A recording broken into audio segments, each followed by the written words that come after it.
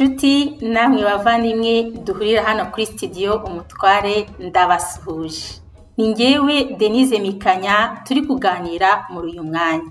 Nkaba ngira ngo bahe ikaze hano kuri sitidiyo umutware kandi mbifuriza amahoro y'imana. Kuri mwe mukiza ku nshuro ya mbere kuri sitidiyo umutware ni karibu. Nimuze mwisanga hano ni iwanyu ni iwacu ni mu rugo kandi ni muri salo ya kanyarwanda. Mboneyeho rero rwose no kubabwira ngo nimuze mutitega nta mahwa ahari ntimuze mwikandagira ntimuze mukandagira amagi ntabwo ntabwo ntabwo mukeneye kuza uvuga nkanjye cyangwa n'abandi bami n'abamikazi batanga ibiganiro hano kuri sitidiyo umutware. Ntukeneye kuba ufite ibitekerezo bimwe n'ibyanjye ntituba dukeneye gukundana cyangwa kuba twumvikana icyo twifuza hano ni ukugira ngo wubahe uwo usanze muri salo ya kanyarwanda kandi nawe wubahwe mwebwe rero mutabizi mwebwe mutari mwiyandikisha kuri sitidiyo umutware nagira ngo mbabwire ngo niyo nkunga ya mbere mwaha sitidiyo yanyu sitidiyo ya kanyarwanda.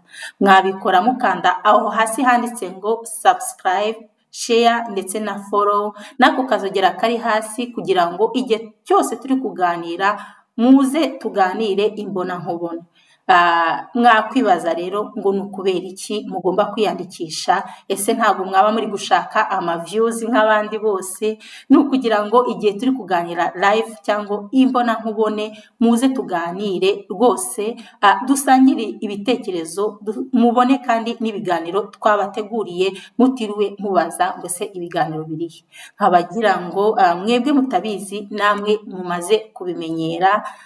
Nongere mbasubiriremo twongere tubasubiriremo buri munsi igihe turi hano imbere ya kamera ndetse n'inyuma ya kamera tuje tuvuga ukuri tuje dufite urukundo ndetse twizeye twizeye dufite icyizere. Ibi rero nkaba ngira ngo mubikoreshe nk'umunzani mupimiraho ibyo tubagezaho ibyo tuvuga amagambo tuvuga ibikorwa dukora yaba ari imbere ya kamera cyangwa inyuma ya kamera murebe ko koko turi mu kuri turi mu rukundo kandi dufite n'icyo cyizere. Kandi nanone murebe ko ibyo tubabwira atari ukubapfunyikira amazi gusa ahubwo hari icyo bibungura mu buzima bwanyu bwa buri munsi. None rero ndagira ngo mbabwire tuzajya nanone tubisubiramo ntago turabere ntago turabere habe na gato dushobora gukosa dushobora kubaha ubumenyi butari bwo dushobora kubabwira cyangwa kubagezaho ubumenyi butari bwo ariko nta na rimwe bavandimwe nta na rimwe basangirangendo tuba twazindutse tuvuye mu byo twari turimo mu makarito mu buzima busanzwe mu bintu byose tuba turimo tuje kubapfunyikira amazi. Rero twagira ngo rwose igihe igihe igihe igihe twabonye ko twabahaye ubumenyi butari bwo tuzajya dufata umwanya umwanya tubikosore ku mugaragaro nk'uko natwe tuba twabigiye ku mugaragaro. Ahangaha tubisubiramo wagira ngo ni nka bibiliya ariko iyi ndangagaciro irakenewe ko tuvugira ku mugaragaro ukuri dufite tukakuvugira ku mugaragaro ntitujye kwihererana abantu mu gikari cyangwa ngo mu gikari tube tuvuge bimwe hanyuma imbere ya kamera tuvuge ibindi. Tumenye kugumana iyo ndangagaciro rwose yo kuvugira ku mugaragaro niba ari ikosa turikosorere ku mugaragaro.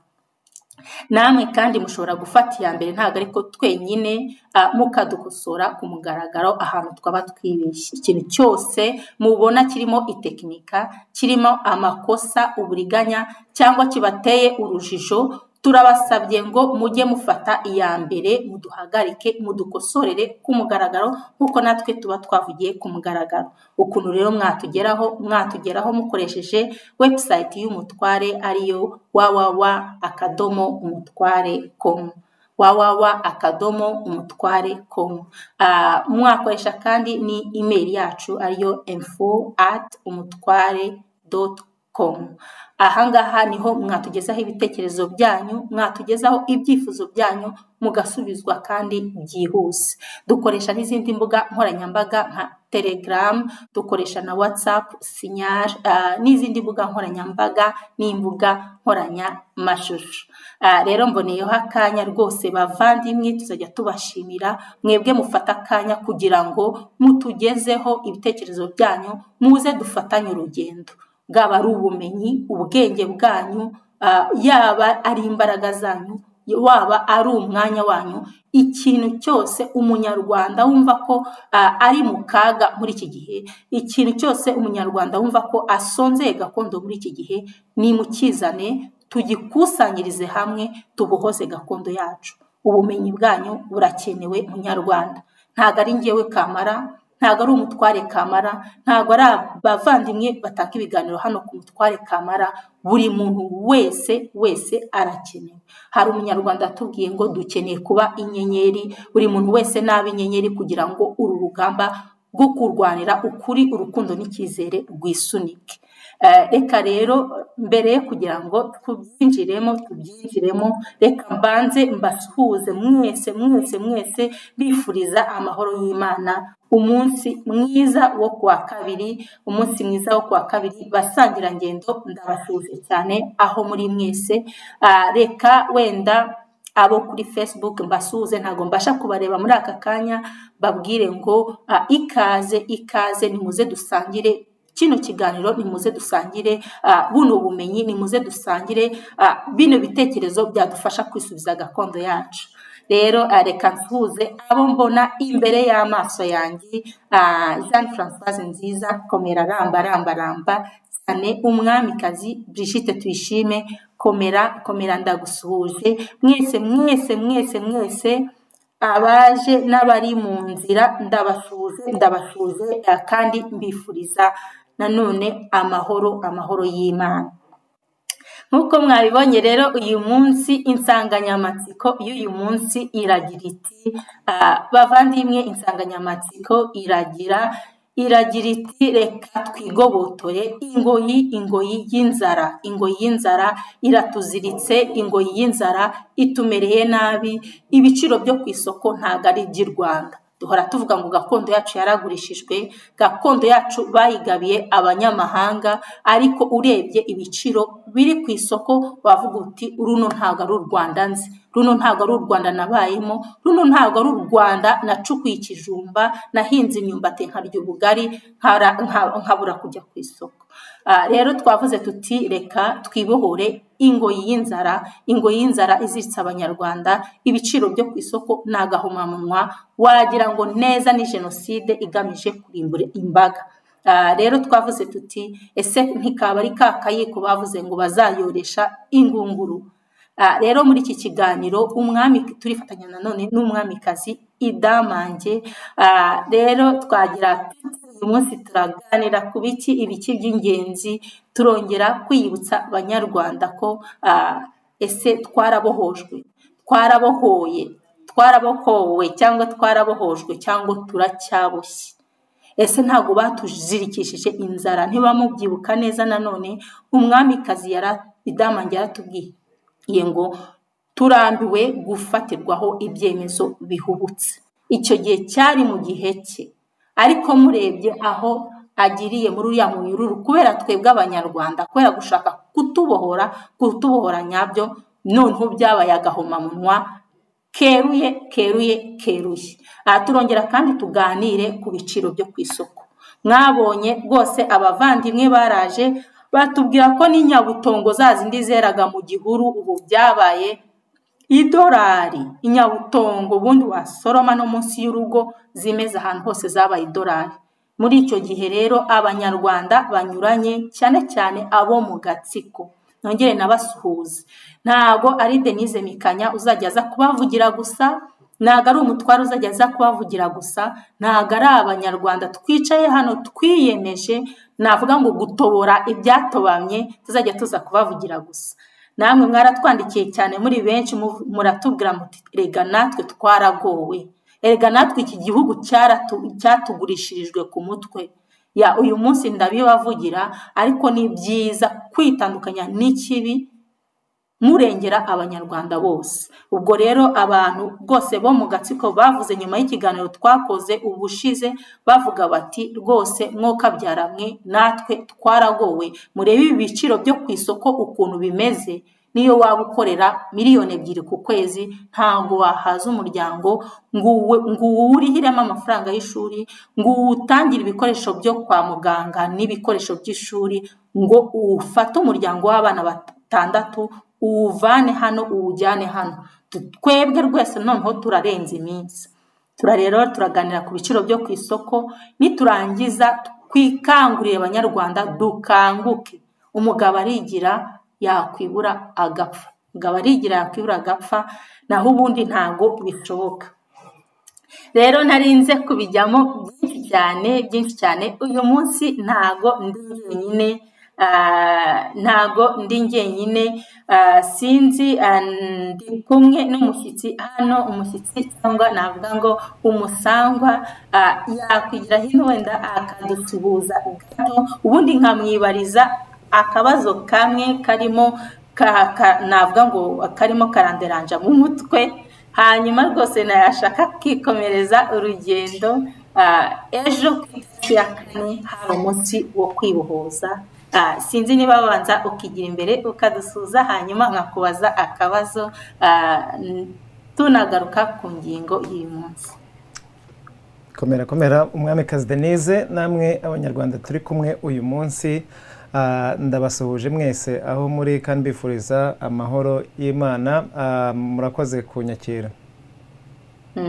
Urakoze urakoze.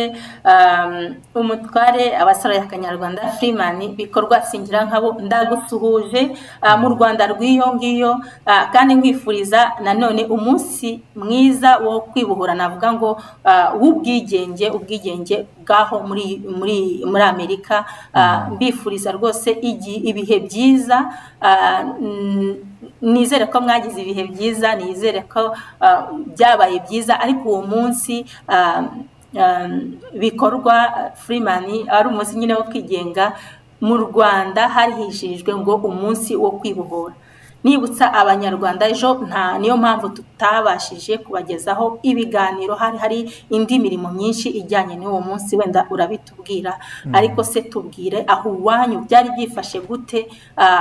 Ku bantu basonzeye ubwigenge nyabwo ese watubwira koko? Mu rwanda rwacu rwa kanyarwanda muri gakondo twaba twaribohojwe koko?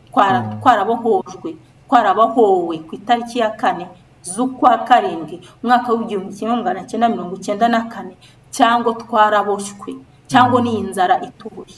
Reka mbahe ijambo mu tunyuriremo gato hanyuma tugaruke rwose tureba ku isoko bimeze biti ijambo ni iryawe urakoze urakoze umwamikazi denise ndagira ngo rwose mbanze mbabwire ngo hano ejo ntabwo twari turi kwizihiza umunsi wo kwibohora nko mu rwanda. Hano wari umunsi wo kwigenga w'ubwigenge muri leta zunze ubumwe za amerika. Apana kwibohora kandi kwibohora no kwigenga ni ibintu bibiri bitandukanye. Kuri mwebwe mutabizi so ni na yo mpamvu urebye twari kubera ko dukora no mu yindi mirimo hano muri iki gihugu byabaye ngombwa ko mbese natwe twifatanya n'abandi bari hano muri uwo munsi kugira ngo kugira ngo gahunda zigende neza. So urabaje rero ngo natwe twari twibohoye ahangaha biransekejeho gatoya ariko oya ahangaha nta bintu byo kwibohora kubera ko ntago hano mboshye nta nubwo tuboshye. Cyokora bitavuze ngo nta karengane gahari. Buriya ni ibintu biba bitandukanye. So noneho rero turebye mu rwanda mpise rwose ndasa ku ntego. Kwibohora ntabwo ngewe nemera ko ku itariki ya kane z'ukwa karindwi ari umunsi wo kwibohora. Nubwo bwose agatsiko kavuga ko ari umunsi wo kwibohora kandi kanashyize n'iyo poropagande mu banyarwanda hose so ni uko nguko bimeze ni umunsi wo kwibohora kandi firimani nta cyari cyo kugira ngo mubwire ngo ntabwo ari umunsi wo kwibohora usibye ko ngewe nababwira yuko uyu munsi wabaye umunsi wo kuboha abanyarwanda. Uyu munsi abanyarwanda tuboshye kurusha uko twigeze tuboha mbere. Ngewe navutse ntazi ko abanyarwanda bari baboshye.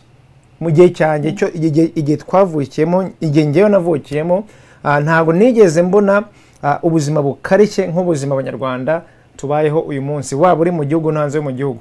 Bitavuze ngo mwebwe b'abamiliyoneri mu madolari ngo ibintu birabareba sibyo? Ntabwo mwebwe ndi kubavuga. Kandi n'ayo mamiliyoni y'amadolari ni imisoro y'abanyarwanda benshi muri mwebwe ah, mwa- mwahereyeho wenda mukaba mwara- mwarayishoye ikabagwiriza ariko mwanyunyuje abanyarwanda bigitangira. Exception ni abanyarwanda bakeya bari bafite ayo mafaranga na mbere y'uko fpr ijya ku butegetsi. Abo ngabo ntabwo ari bo ndi kuvuga. Ariko uyu munsi tuzi neza ko igihugu cy'u rwanda gikomeje ah, ku- ku- kunyunyuzwa imitsi ah, n'abakiyoboye ah, kandi noneho bakaba baranaboshye ejo rero biratangaje kugira ngo ah, bivugwe yuko wari umunsi wo kwibohora ah, mu gihugu. Ariko noneho wareba uti okay, wenda iyi nshinga kwibohora banza bivuze ikindi kintu ku- kuri fpr ndetse ah, ndetse na- na- n'ababa bahagarariye fpr mukaba muti kuki? Cyangwa se kubera iki? Reka tuvuge akantu gatoya sibyo? Murebe uyu munsi ukuntu mwari mubayeho abanyarwanda. Ah, reka nivugire muri generasiyo yacu sibyo? Uko mbizi ntabwo nigeze nteseka ah, mu buryo navuga ngo ngo ah, ngo mbere y'intambara reka mpresize kuko nari ndi umwana sibyo? Ntabwo nigeze mbona ubuzima bukarishye na gatoya. Rwose sinabirara ubwo buzima bukarishye ntabwo nabubayemo. Ariko noneho intambara igitangira kimwe n'abandi bose twatangiye twatangiye noneho uh, kwegerezwa cyangwa se kumenya noneho n'ubundi buzima butoroshye bu- ubuzima bundi bukarishyeho gatoya. Ah, icyo kintu kizana noneho kizana noneho kumenya ubugome kizana kumenya ibintu by'imbunda intwaro ibyo byose. Ah, ugasanga noneho haje n'ubugizi bwa nabi butandukanye. Hari abantu bapfa abantu basara abantu bagira amasiterese ibyo byose ni bwo twatangiye kumenya ngo byari ibiki kuko twari turi abana tutazi ibyo ari byo ariko noneho byabaye ngombwa ko natwe bitugeraho. So twirukanze tukajya imbere. Fpr imaze gufata igihugu ah, mu gihe bavuga ati "Tura- tumaze kubabohora nk'abanyarwanda. Ah, jewe noneho iyo ndebye aho turi uyu munsi mpereye aho fpr yaturutse. Uyu munsi abanyarwanda ntago babohowe ahubwo ni ho baboshye ni ho tuboshye. Ndi kuvuga tu twebwe nk'abanyarwanda kuko nanjye ndi kwibonamo turi kumwe. Nibonamo ko twe- twese iyo umunyarwanda umwe aboshye n'igihugu cyose kiba kiboshye. Iyo umunyarwanda umwe ari kugirirwa nabi igihugu cyose na cyo kiba kiri kugira nabi bene kanyarwanda. So aka kanya rero urareba ukabona ibintu twabonaga mu ntambara noneho bimeze nk'ibintu bisanzwe. Ndabaha nk'urugero rwose ntago ntago mbinyuza mu matamatama. Murebe murebe uyu munsi gufatwa ku ngufu denise. We nk- nk'igitsina gore ni ibintu noneho turabyumva buri munsi kumva mbese ni ibi- ni ibintu bisanzwe.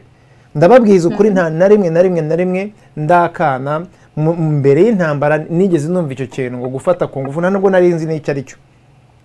Na gatoya na gatoya umusirikare n'imbunda icyo kintu sinigeze mbona umusirikare n'imbunda mbere y'intambara. Nta basirikare n'imbunda babagaho kuko nta mpamvu yabyo yari ihari.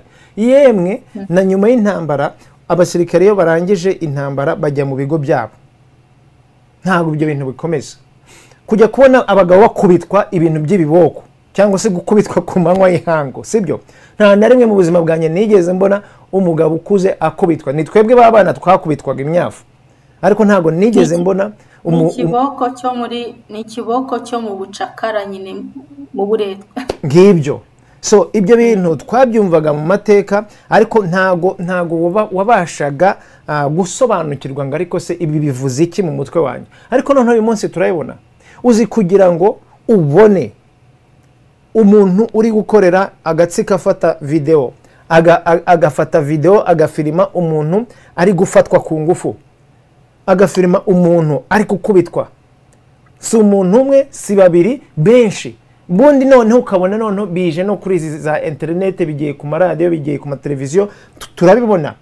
Ibi bintu bizana iki? Ub- ub- ub- ubugome mu bwonko bwacu. Kubibona ukabona ko ari ibintu bizima. Ubundi ukajya kubona ukabona nta muntu utabaye. Mu makaritsiye twabagamo iyo hari ibintu bavuga ngo byita gatarina. Gutera abantu ba- ba- bakubitaga ikibuye ki- ki- kigatwara urugi ubundi ibijura bikiba icyo kintu ni cyo kintu kibi numvaga ari ikintu kibi gishobora kuba kiriho. Iyo ibintu nk'ibyo byabaga bavuzaga induru ukabona abantu baratabaranye muri za karitsiye. Uyu munsi ushobora kuvuza induru uri hanze.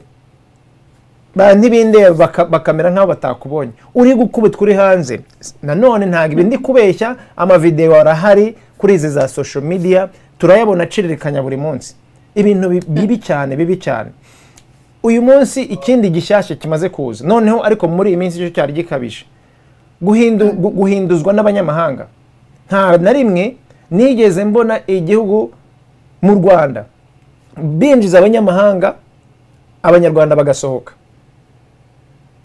Ni ibintu uyu munsi ni bwa budasa ni cya kintu ntazi icyo ari cyo noneho ukabona nta munyarwanda n'umwe n'umwe n'umwe ugize n'icyo abikozeho. Turacecetse ntacyo bitubwiye mbese ni ubuzima. Ukabona ubayeho umeze gutya buri gihe. Ngo nceceke ndamuke wanitsamura ngo tsi ukitsamuriraho no kuko utazi uwo ushobora kwitsamuraho yanumva n'uburyo witsama agakeka ko umwanga uri igipinga cyangwa se uri ibi n'ibi n'ibi n'ibi. Ibi- bintu uyu munsi turi kubibona twebwe twari abana icyo gihe. Ni na yo mpamvu tuza hano imbere y'amakamera kuri aya maradiyo kuri izi za social media tukavuga ngo ibintu ntabwo tubyemera. Ibi bintu nta- ntabwo ari ubuzima. Noneho n'ikindi kibabaje uyu munsi ni twebwe noneho tumaze gukura ku buryo dushinga ingo zacu. Ni twebwe tumaze gukura ku buryo dushobora kugira abana. Ni twebwe tumaze gukura ku buryo ushobora gusanga bamwe babaye bafite n'abuzukuru. Nimumbwire mwa banyarwanda mwe ni gute ubaho mu buzima bumeze gutyo ukumva ni ibintu bizima?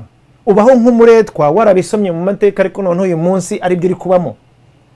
Ubaho nk'umuntu utagira agaciro twarabyumvaga kera mu mateka ariko noneho ari bwo buzima uyu munsi turi kubaho.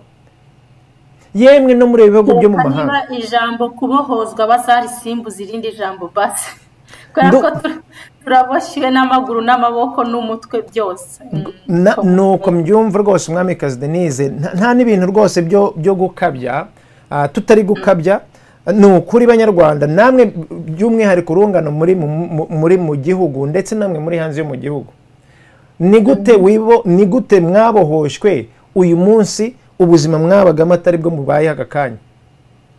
Nk'abari mu rwanda ni urugero sibyo? Abari hanze bashobora kuba bari bafite ubuzima bubi uyu munsi bukaba ari bwiza. Ariko se ni gute uyu munsi fpr itunze igihugu cyose? Niyo nyiri igihugu cyose. Ibyo ibintu bitigeze bibaho. Ukajya kubona ukabona hari ironda ry'ibintu byose. Umuturage ntashobora gukora icyo ashaka ngo kimuvuye ku mutima. Biravugwa ngo ukore icyo ushaka ariko muri make ni ku magambo gusa. Ariko ugasanga abantu bafite ubwoba. So denise njye nakuze ibintu by'ubwoba ntabigenderaho. Nakuze bambwira ngo wishyire wizane nitwa singira nk'abo bikorwa bwigenge. Sibyo? Ni uko nguko nitwa niyo mazina yanjye ntabwo ari amazina avanye muri amerika aya ni amazina bampaye mu rugo bampaye kuva navuka. So niba rero ngewe muri ngewe nzi ko ndi bwigenge ntabwo uzaza kungira umuretwa ntibibaho. Niba n'ibikorwa yewe niba niyo yaba ari n'amafuti ndi kubakorera. Nibura njye ndabikora ku mugaragaro muze muvuge ngo ni amafuti ubundi singira nkabo. Tugomba twese ubundi twese twakagombye kuba turi basingira nkabo. Ariko mu gihe udashobora kumva ko ufite agaciro ntabwo ushobora uragenda ukore nk'ibyo abandi bari gukora.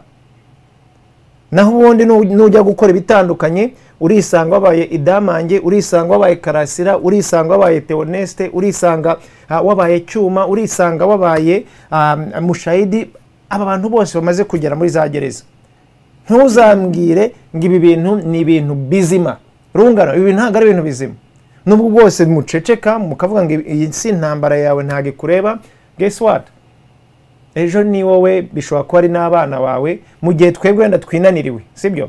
Ariko njyewe ndababwira ngo mu gihe cyose ngifite ingufu mu gihe cyose ngifite ah, ubuzima ibintu njye nzabirwanya ku mugaragaro. Ntacyo mpfa na fpr ah, kirenze ko itoteza abanyarwanda ntacyo mpfa na fpr kirenze ko yica abanyarwanda. Ntacyo mpfa na fpr kirenze ko igirira nabi abana b'abanyarwanda. Ntacyo mpfa na fpr kirenze ko ihagarikira umubyeyi ari gufatwa ku ngufu. Ihagarikira abana bicwa n'inzara. Ihagarikira ubwoko bumwe butotezwa ubundi buka- bukagirirwa nabi. Ibyo ba- ibyo bavuga ngo barwaniye guhagarika iryo rondoka uyu munsi bararifite. Barokoye abatutsi uyu munsi abahutu baratotezwa. Barokoye abatutsi uyu munsi abatwa bagatotezwa. Barokoye abatutsi uyu munsi abatutsi nabo bagatotezwa. Mu- mutekereze ibyo ni ibiki ntabwo ndi kuvugishwa. Uyu munsi abatutsi nabo baratotezwa nk'uko nabo bigeze gutotezwa kera. Cyane cyane abatari kuvuga rumwe n'umurongo fpr iriho. So ibyo ni ibiki mu gihugu cyacu? Umwamikazi denise mfite agacuma ariko reka mm, mpagarikire ahangaha ntabwo nshaka ntabwo nshaka guhita rwose mbifata byose nkabibarondaho. Ariko ni ukuri ah, ntabwo ntabwo kuri jyewe rwose muri jyewe ntabwo mbona yuko ah, ku itariki ya kane z'ukwezi kwa karindwi ari umunsi ah, igihugu cyabohotse ahubwo igihugu cyaraboshywe uyu munsi noneho muri abaretwa ijana ku ijana ngewe niko mbibona rwose. Nabasubiza ijambo. urakoze. Bajyaga babivuga ngo uburetwa ukuntu busa umuntu utararambye ngo agere mu bihumbi bibiri na makumyabiri na kabiri ashobora noneho kubyibonera n'amaso n'amaso n'amaso. Umuhanzi bikindi ah, ni we ujya avuga ngo ibuka ikiboko wibuke shiku. Ngo wibuke iminsi wamaraga ukorera umutware ntanaguhembe.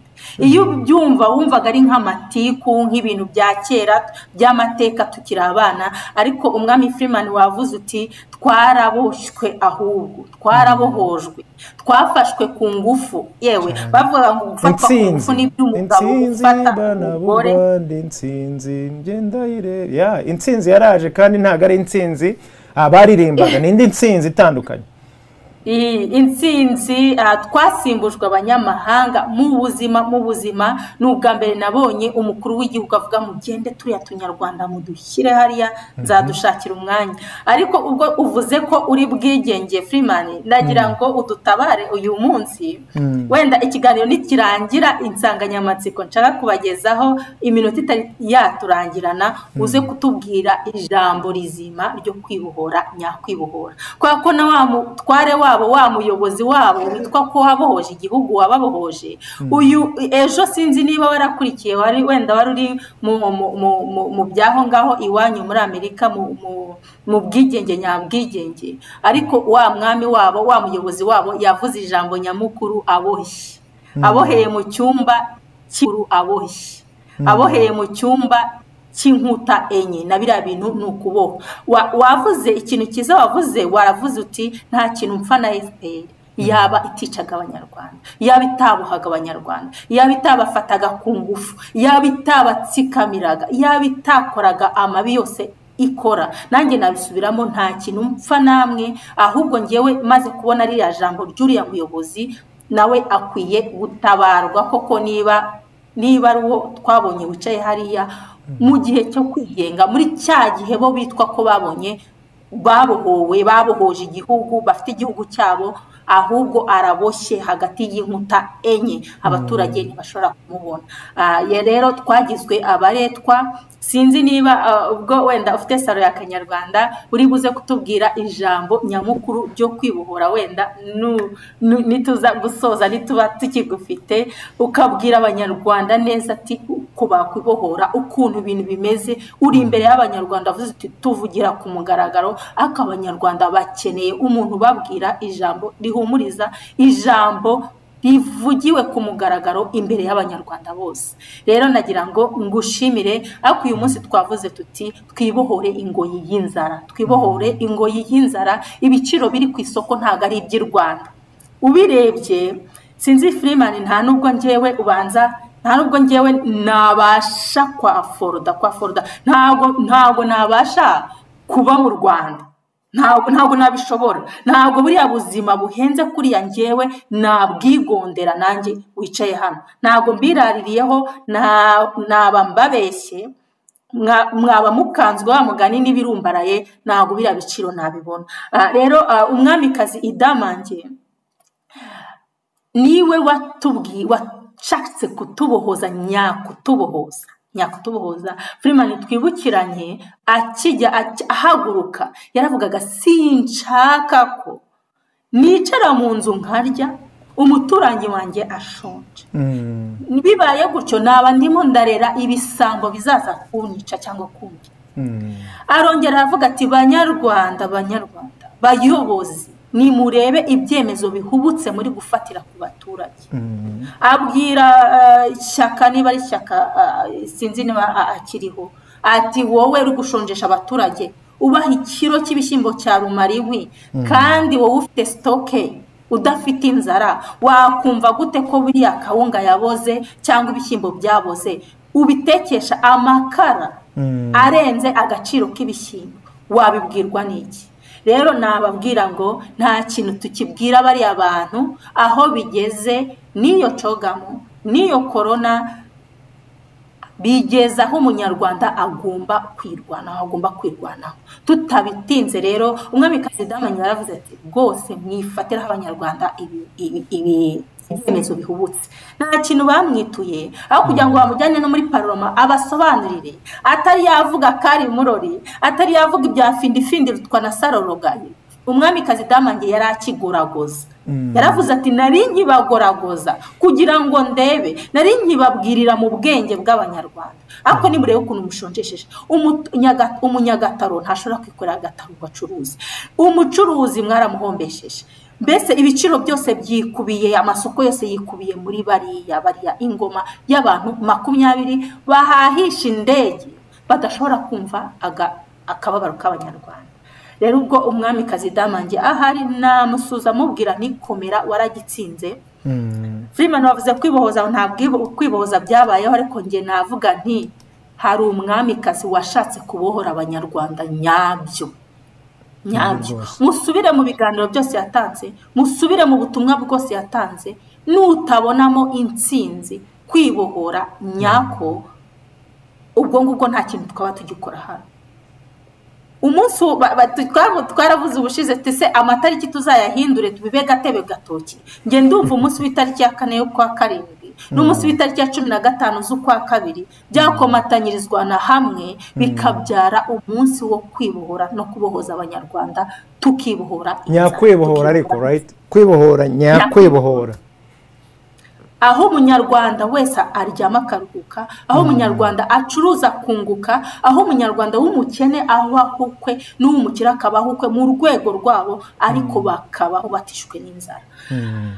Yewe. Sinzi reka nze reka nze eh, nsuhuza abantu bo mu gatsiko batubwiye bati nyamara nyamara ku mutware studio muraturenganya muraturenganya natwe twaragowe. Ati nimurebe bino biciro biri ku isoko murebe ko niyo waba uhembwa. Miliyoni imwe y'amanyarwanda wabasha gutunga umuturage. Rero niba unyemereye reka muri studio banyemereye reka tubinyuremo turebe byibura ibiciro bimwe. Ibiciro bimwe bya mbere ibiciro bya mbere bya mbere wenda tuvuge imbere muri korona cyangwa imbere ya korona ho gato cyangwa se na nyuma ya korona n'iby'ejo bundi inyuma ya cogamu inyuma ya cogamu turebe mu mbabarire banyarwanda dufatanye wenda abanyarwanda cyane. Bari mu rwanda murebe murebe tubandwa habona dukora ibintu byose hagaragara ubu butumwa ni mwebwe mwabuduhaye ngo tububagereze ku banyarwanda. Ngaho namwe nimuturebere nimuturebere banyarwanda nimurebe. Ah, aho aho banyarwanda twavuze mbere hagati ni ibiciro byari bisanzwe bizwi. Wenda muratukosora hari hano ibiciro ku isoko bivuga biti umuceri umuceri. Ibi ni ibiciro by'umuntu wifashije utari n'umunyagatebo. Ba bandi bavuga ngo ni abakozi bakorera kariya gatsiko ni abo muri fpr ni abacinya inkoro ni ba bandi bishimiraga ko cogamu yabaye rwose eh, ya- yabaye yarimbanyije ah, barishima ye bara- bara- barakeza ariko nimureke turebe nimureke turebe ibiciro biri ku isoko bavandimwe maze mumbwire mumbwire mumbwire muri cate mumbwire abari mu rwanda mumbwire niba uru rwanda koko murwibonamo. Ngewe navuze nti ntabwo ibi biciro ari mu rwanda na hano ntabwo nabasha kubeshwaho n'amafaranga angana gutya no ku kwezi ngo bishoboke. Reka tubijyemo rero bavuze bati reka umuceri umuceri igiciro cy'umuceri ku isoko agafuka k'umuceri kaguraga ibihumbi makumyabiri na bitanu ibiro makumyabiri na bitanu kaguraga ibihumbi cumi na bitanu ubu kari kugura ibihumbi mirongo itatu na bibiri. Urebye neza byikubye kabiri karenzeho. Pate jone cyangwa kawunga agafuka k'akawunga kaguraga ibihumbi cumi n'umunani by'amanyarwanda kari kugura ibihumbi mirongo itatu. Inshuro ebyiri mu gihe kitarenze cogamu mbere ya cogamu n'imbere gato muri korona sositomate ubu abarya sositomate si abakirera aba sositomate ndibaza ko ari ikarito ya sositomate yaguraga ibihumbi cumi n'umunani igura ibihumbi mirongo itatu na bitanu. Wawu ibihumbi mirongo itatu na bitanu twibukiranye yuko ari twavuga nk'amayero nk'amayero hafi mirongo itanu. Ikintu cyonyine cyavuga ngo ni ikirungo. Ibirayi ibirayi nabisurinyeho cyane kubera ko ibirayi byarahingwaga. Abantu b'abakiga bo mu majyaruguru bakarya bagahaga umuntu wo mu majyaruguru umuntu ukomeye umugabo mwiza ukomeye ufite ingufu wamubwirwaga n'uko yariye ibirayi n'ibigori. Ni mu ndebere ibirayi byaguraga amafaranga ijana na mirongo irindwi ubu uri kugura ikiro kimwe hafi iyero rimwe hafi igice cy'iyero amayero magana ane na makumyabiri. Igitoki magana atatu igitoki cyaguraga ijana na makumyabiri kiri kugura magana atatu. Ubundi ni ibi bintu umuntu yihingira. Ibishyimbo muri kubira byaguraga magana atatu magana atandatu. Isukari wowe ukabyarawe ibihumbi bibiri kandi yaraguraga magana inani. Marigarine ariko se niba nde barya marigarine ubundi maze iki? Igura ibihumbi bibiri magana atanu ubundi yagura ibihumbi bibiri magana atanu yaraguraga ibihumbi bibiri magana atanu mayoneze mama we bano bantu ni abakire ni abakire. Mayoneze wenda navuga nk'icupa ibihumbi bine magana atanu ubu iri kugura ibihumbi birindwi. Isabune yo koga ibihumbi bibiri ibihumbi bibiri yaraguraga magana inani. Mu ndebere bano banyarwanda bino ni ukuvuga ngo mugende nta kintu dupfana natwe. Yagura ibihumbi bitanu njye nayirya nayigura nakaraba ariko ni wowe nushaka ubyihorere. Omo omo si ubundi maze iki banyarwanda mumbwire? Ufite isabune ubundi ni ngombwa? Omo yaguraga ibihumbi bitanu ndibaza ko ari akadobo ubikugura ibihumbi umunani. Ubugari ubugari abanyagitarama ndabasuje ahantu muri hose. Ubugari ubundi abantu barahinzaga ubugari bwarumbaga ari uko imvura yaguye. Ariko ahantu hose imyumbati yareraga yewe mana ni agahinda ikiro magana abiri na mirongo itanu ubu kiri kugura magana atandatu Freeman twibukiranye yuko mu muryango w'abana batandatu ntabwo ikiro kimwe harimo nk'abahungu. Sinzi umuryango w'abanyabahungu barimo ariko niba umuryango ufite nk'abahungu barenze babiri ntabwo ikiro kimwe ku mwana banza kiba ari gikeya kugira ngo umwana arye ahage yishime ubugari. Ubu hano turi kuvuga bano bantu bifite bahahira ku kwezi ntabwo twari twagera ku banyagataro ubugari buri kugura angahe magana abiri na magana atandatu bwaraguraga magana na mirongo itanu. Inyama ziri kugura ibihumbi bitatu magana atanu zaraguraga bibiri magana atanu. Sinzi niba abantu bacyorora n'agahumamunwa inkoko ibihumbi bine magana atanu yaraguraga ibihumbi bibiri magana atanu. Ifi ibihumbi bine magana atanu yaraguraga ibihumbi bitatu. Umugati umugati banyarwanda muri sudani bafashe umugati baravuga bati twibohoze kubera umugati. Ubu uri kugura ibihumbi magana atanu ariko banyarwanda hari ikindi kintu twawusimbuza. Amakara yo gutekesha ya yandi ateka ibishyimbo bidashya ari kugura ibihumbi cumi na bibiri yaraguraga ibihumbi umunani. N'ibihumbi umunani ni byinshi aho mperukira mu rwanda rwatubyaye umufuka waguraga nk'igihumbi magana atanu. None ni mu ndebero. Ibihumbi cumi na bibiri ni ukuvuga ngo ni nk'amayero cumi n'atanu. Gaze abateka kuri gaze ndumva mwebwe muri n'abakire. Ntabwo ndi kubajora ntabwo ndi kubaseka. Ni ku rugero rwanyu ariko mwambwiye muti sitidiyo y'akanyarwanda nimurebe natwe ntabwo tubishoboye. Ntabwo bishoboka ntabwo tubishoboye. Ni ukuvuga ngo umuntu wahahishaga bino yatangaga ibihumbi ijana na bitanu magana ane na mirongo ine. Ibihumbi ijana na bitanu magana ane na mirongo ine. Bavandimwe b'abanyarwanda niba mureba bino biciro nta mboga zirimo nta za dodo b'abakobwa bavugaga zari zirimo nta zirimo nta nyanya zirimo nta tomati zirimo nta kintu na kimwe kindi cy'inyongera kirimo wavuga ngo ni ibintu bya bindi bitabora. Udashyize n'isombe abarya isombe imboga utuntu tundi dutandukanye twashyira mu biryo kugira ngo bimirike. Ntabwo birimo nta munyu urimo nta magi arimo nta ki. Ushyizemo ibintu byose birangiza ukwezi. Ibintu byaguraga ibihumbi ijana na, bitanu magana ane na mirongo ine. Ubu biri kugura ibihumbi ijana na mirongo icyenda magana atandatu na makumyabiri. Banyarwanda ni mu ndebere ni mu ndebere. Murebye wenda ku gishushanyo mbonera ababasha gusoma igishushanyo mbonera badukiriraho eh, ibiciro byo ku isoko mukareba ukuntu byatumbagiye bavandimwe mukareba ukuntu ibiciro byose uku nguku bigenda birutanwa ah, birutanwa birutanwa. Igishushanyo mbonera kirabigaragaza wenda nakwita wenda tuvuge nka diyagaramu biragaragara ukuntu ibiciro bigenda bitumbagira. Ntabwo ari ibintu by'i rwanda ntabwo bino biciro ntabwo hano ari mu rwanda ntabwo bishoboka nanjye ubwanjye ntabwo nakwigondera aya mafaranga yose ntabwo ushyizemo imodoka ku bayifite ntabwo ushyizemo ayo gutega ntabwo ushyizemo ayo gupfunyikira umwana. Niba tubyibuka neza basangirangendo umwarimu ahembwa ibihumbi mirongo ine. Umwarimu wo mu giturage.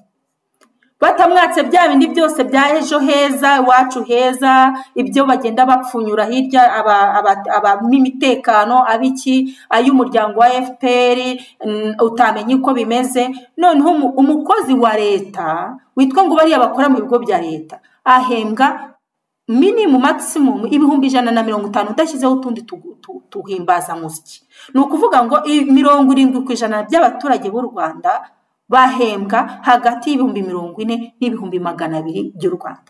Noneho uravuga uti ku isoko byonyine udashyizeho n'ikintu n'uburisho. Ibintu biri kugura ibihumbi magana abiri. Ahembwa ibihumbi ijana na mirongo itanu. Ntabwo washyizeho ayo gukodesha ntabwo washyizeho kugira gute ntabwo washyizeho umwana yarwaye ntabwo washyizeho mituweli do sante. Reka twigarukire ku biryo murebe niba uru ni u rwanda ari u rwanda rwa kanyarwanda. Reka dukomeze. Urebye rero ku gishushanyo nanone mbonera amafaranga akenewe ku kwezi ni amafaranga ateye ubwoba ni amafaranga ubwoba. Ntabwo wayabona. Aho twavugaga ngo amafaranga akenewe ku kwezi byibura y'ibiryo bimwe udashyizeho n'ibindi. Ni ibihumbi ijana na bitanu ubundi magana ane na mirongo ine ubu ngubu ni ibihumbi ijana na mirongo icyenda na kimwe magana atandatu na makumyabiri. Bantu bo muri diaspora abantu bose abanyarwanda abanyarwandakazi ni murebe murebe ukuntu inzara iri gutemamara. Abandi barimo barahahisha indege abandi barimo bararandura imiceri bari kukuranduriraho umuceri ngo ujye gucuruza muri koperative handi bikindi avuga ngo ukorera umutware ntanaguhemba. Bagukubita intoki. Reka dukomeze wenda turebe nanone ibihingwa ngandurarugo. Ibihingwa ngandurarugo banyarwanda ni bya birayi. Umunyaruhengeri yihingiraga ikirayi cyawe harya ikirayi bacyita ngo iki cya muti ni ibishyimbo ni mutiki. Ikirayi kinini agahinga dukomeje ku bihingwa ngandurarugo agahinga agashyiramo impungure agashyiramo ibishyimbo akagaburira umwana umwana agakomera umuryango ugakomera umugabo wo mu ruhengeri uzagende murebe mu ruhengeri imbuga zarumye. Ibihingwa ngandurarugo rero ibirayi ni ndebere. Mu ndebere ni mu ndebere kwibohora fpr yatuzanye. Ni murebe aho ibirayi byatumbagiye aho umunyarwanda agura ibirayi magana ane na makumyabiri. Ubundi ibi bintu ni ibintu tutakagombye kuba tunajyana no ku isoko. Ni bya bindi bavuga ngo ni commerce de change cyangwa ni ibintu wagurana ukajyana ku isoko. Kera kera baravugaga ati u rwanda njyanye igitebo cy'ibijumba ku isoko ugahuriraho n'umuntu ufite igitebo cy'ibirayi mukagurana ukagenda usimburana ukajyana amagi ugatahana igitenge. Ibirayi bya magana ane na makumyabiri se murumva imbuga za ruhengeri zitarumye za gisenyi zitarumye. Abantu barabanje barahica kereka niba barahateye itabi. Abantu ba ruhengeri muri hano muhinga iki mujyanaho ibihingwa koko. Ubundi ibihingwa ngandurarugo ntabwo ari ibintu ubugari abanyagitarama bahinga ubugari bakajyana ku isoko ibishyimbo ni ibintu umuturage yabaga afite yavuga bati wenda byararumbye ibishyimbo ndibikaho umufuka wo kurya ntabwo njya kugura iki ni mu ndebere koko. Ikiro cy'amafaranga magana atandatu. Ikiro kimwe nta nubwo cyahaza umuryango noneho n'amaminwa yarabuze ngo hari abantu basigaye bajya kugura ngo babyita mituyu ngo ku gakoroboyi. Ni mu ndebero ubudasa aho umuntu ajya kugura amaminwa muri resitora. Aho ibishyimbo bibura mwambwira ko mwibohoye iki? Mwagatsiko mwe ko mwaje gutagangaza abantu koko? Niyo mubohoza igihugu niyo mwasahura kongo ariko ntimwicishe abantu inzara bigeze hano. Reka dukomeze uyu munsi navuze ngo nta marangamutima ndi buvugane kubera ko ni agahumamama ibiribwa bitunganyije.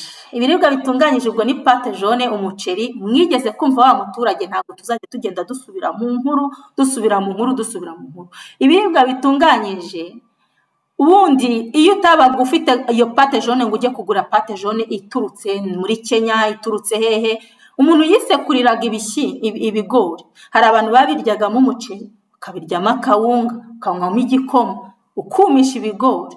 Ariko ujya gukata ikigori mu murima wawe bakaguca intoki ni mu ndebere iyi ngiyi si jenoside. Nibavuga iyi jenoside koko? Muzavuga ngo ni ibiki? Ibi ni ibiki? Umuceri mwumvisha wa muturage aho agomba kujya gutanga ruswa y'ibihumbi bitanu kugira ngo asarure umuceri aho umwana banyarwandakazi babyeyi ni muze muri zumu ya kanyarwanda irafunguye muze dufatanye kubera ko niba mwarabonye korona ukuntu byagenze niba mwarabonye cogamu ukuntu byagenze niba mwarabonye ibintu byose ukuntu byagenze ntabwo badufitiye impuhwe. Ibiribwa bitunganyije aho pate jone igura ibihumbi mirongo itatu yaguraga ibihumbi cumi n'umunani. Reka ibigenze gutyo. Abandi twibukiranye umwamikazi damange yaratubwiye ngo yari yatanze sitarateji harya sitarateji ni iki? Sitarateji ni nk'ingamba. Ari kuvuga ati mu gihe amahanga ahuze muri korona mureke duhinge. Noneho nibirangira bazasange twarejeje. Mama wararaye twagiye muri korona ngo ntabwo twicwa na korona wakwicwa na korona wakwicwa n'inzara none ni mu ndebe. Imipaka barafunga ibintu byose turiya dukino baba batwumvikanyeho. Ariko birangira gute wowe wa muturage we ushonje. Wenda mushaka kuvuga ngo tugira amatiku ngo turashaka ko ngo ngo twange ubutegetsi niko se? Wa muyobozi wanyu niba agifite abajyanama naze hano twicarane turebe koko nk'uko abyara nimurebe. Ba bantu bogeza agatsiko nimuze turebe. Nimuze twigire hamwe. Aho kugira ngo muzajye muvuga ngo umuntu agira amatiku ngo umuntu ari gushaka ubutegetsi. Ngewe oya reka ne kubibabwira ejo mutazabona andi minisitire mukavuga ngo ntabwo abuze ko ushaka kuba minisitire anyhow nababwira ngo ni mu ndebere aho umuceri udashobora kwigonderwa. Reka dukomeze. Ibyo ni ibiribwa bitunganyije. None se ubundi harya ubu ngubu ibi byo ni ngombwa. Abantu rwose bo muri bari ku ibere rya fpr bambwiye bati denise rega natwe ntabwo tworohewe. Wagira ngo runo rwanda ntabwo ari urwacu. Wagira ngo turarureba kuri televiziyo. Natwe cogamu twayirebye kuri televiziyo. Twari twagize ngo ni muri hollywood. Kandi twarababwiye tuti cogamu nirangira tuzaganira abanyarwanda. None ni mu ndebe. Ubundi marigarine ni ngombwa mumbwire muri cati ese ubundi voka zagiye? Ko ushyira voka ku mugati cyangwa ugashyira voka ku kijumba kandi ukaba wariye neza kurusha uwariye umugati. Ubundi si umugati ni ngombwa. Marigarine ngo ni ibihumbi bine magana atanu. Wawu ibihumbi bine magana atanu ni amayero atanu. Ikintu utarya ni icyumweru. Kandi niba twibukiranya neza abanyarwanda impuzandengo navuga impuzandengo y'amafaranga atunga umunyarwanda atunga umunyarwanda ku kwezi ku munsi ari munsi y'iyero rimwe. Ukajya kugura marigarine y'ibihumbi bitanu. Umugati w'icyatanu. Hari ubundi buryo? Banyarwanda reka twe kuvuga gusa dutangire dutekereze n'ubundi buryo twakwifata muri iyi nzara. Reka dukomeze. Dukomeze ibyo byari bitari na ngombwa mbona bitari ngombwa. Hari ibiribwa bitunga umubiri. Poroteyine nk'iyo nkoko ifi inyama. Twibukiranye. Mu giturage babagaga ingurube ukagenda ahantu babaza ingurube bakaguhera kuri makeya. Uwufite inkoko agatanga amagi hariya ukorora inkoko imwe ikakubyarira izindi nkoko eshanu zamara kuba eshanu eshatu ukazijyana ku isoko imwe ukayigaburira abana amagi ukayaha ku bana ayandi ukayajyana ku isoko. Ni gute ibiciro byo ku isoko? Hmm? ibiciro byo ku isoko bigenda bikagera mu ibi bihumbi cumi na bibiri na magana atanu. Harimo ifi inkoko inyama nta nubwo byakumaza icyumweru. Banyarwanda. Ravina kiki ni we uri kuvuga ngo abanyarwanda bibera muri mwe bibera munsi y'akarongo buri wese aba afite agakayi k'ideni muri butike ya karitsiye kugira ngo abashe kurangiza ukwezi. Ahubwo si ibyo ngibyo biheruka. Ryari ravina ko nta muntu ugikopa uwundi agakaye ntabwo kakibaho ubu ngubu umugabo arigira yakwibura agapfa. None se mbwira wa mwamikazi we ravina ntabwo nzi niba uri umugabo cyangwa uri umugore waba ukorera ibihumbi mirongo ine. Hano hari bije y'ibihumbi magana abiri ukavuga ko ako gakayise kereka ugiye kubabeshya. Ni ukuzunguza umutwe neza neza neza. Reka twigire ku birungo ku birungo ye abarya ibirungo bara- baransetsa. Rwose ibirungo hano hari ngo amavuta isukari mayoneze. Ngewe ibi ngibi nge nana- ndi ngewe denise bikanya nabikura muri lisite y'ibyo ngomba gukora uriya voka ukayirya ku bishyimbo wabijije ku bijumba waba uriye amavuta waba uriye intungamubiri. Si ngombwa urukarango kandi muzarebe ba sogokuru bariye umugereko bararambye kugeza ku myaka mirongo icyenda. Ibi byose navuga ko ari umurengwe ngewe kereka ko wenda ababifite babirya bayabona barayabona. Ariko nk'abo bantu bakubwiraga ati dore ndebera marigarine ntitukirya marigarine. Isukari yabaye nko kuyumva kuri televiziyo. Ni agahumamunwa ni agahumamunwa abanyarwanda rero ah, reka twigire ku bicanishwa. Ibicanishwa mwibuke ko mu ntambara zose ziri kubera mu karere k'ibiyaga bigari muri rake kivu harimo gaze metane twibitseho ubukire sinzi ahantu umutware wenda yagiye wenda yaza kubisobanura araza kubisobanura mu kanya ariko gaze metane ishobora gucanira akarere k'ibiyaga bigari kose muri ibi bicanishwa yibereye muri rake kivu icya kiyaga. Kandi mu ndebera abantu bacana ngo gaze ibiro cumi na bitanu iri kugura ibihumbi makumyabiri na bitanu ngo yaraguraga ibihumbi cumi na bitanu. Abantu bashyira ibiciro ku isoko mu mbabarire mubankirire kuri lisite turebe turebe turebe turebe ibi bintu ni agahomamunwa ni agahomamunwa ubundi iyi gaze kubera ko twebwe ari twebwe suruse yayo cyangwa isoko yayo twakagombye kuba ducanira ubuntu tukagurisha ku mahanga tugasagura. Ariko ubuyobozi bubi bubi bubi bubi bwaje kutuboha. Biyoro ati "Eh, rega denise byose bikora byagenderewe. Ya jenoside nyine y'inzara. Mwicwe n'inzara mwicwe n'inzara. Nta kundi byagenda nta kundi.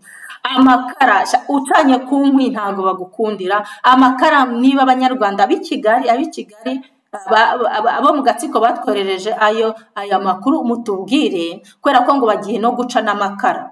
Abantu bose tuzajya ducana kuri gaze twabaye abakire kandi iyo gaze ituruka mu- muri mu- muri raki kivu gaze metane twakagombye gukoresha turi kuyigura ku mayero makumyabiri n'atanu.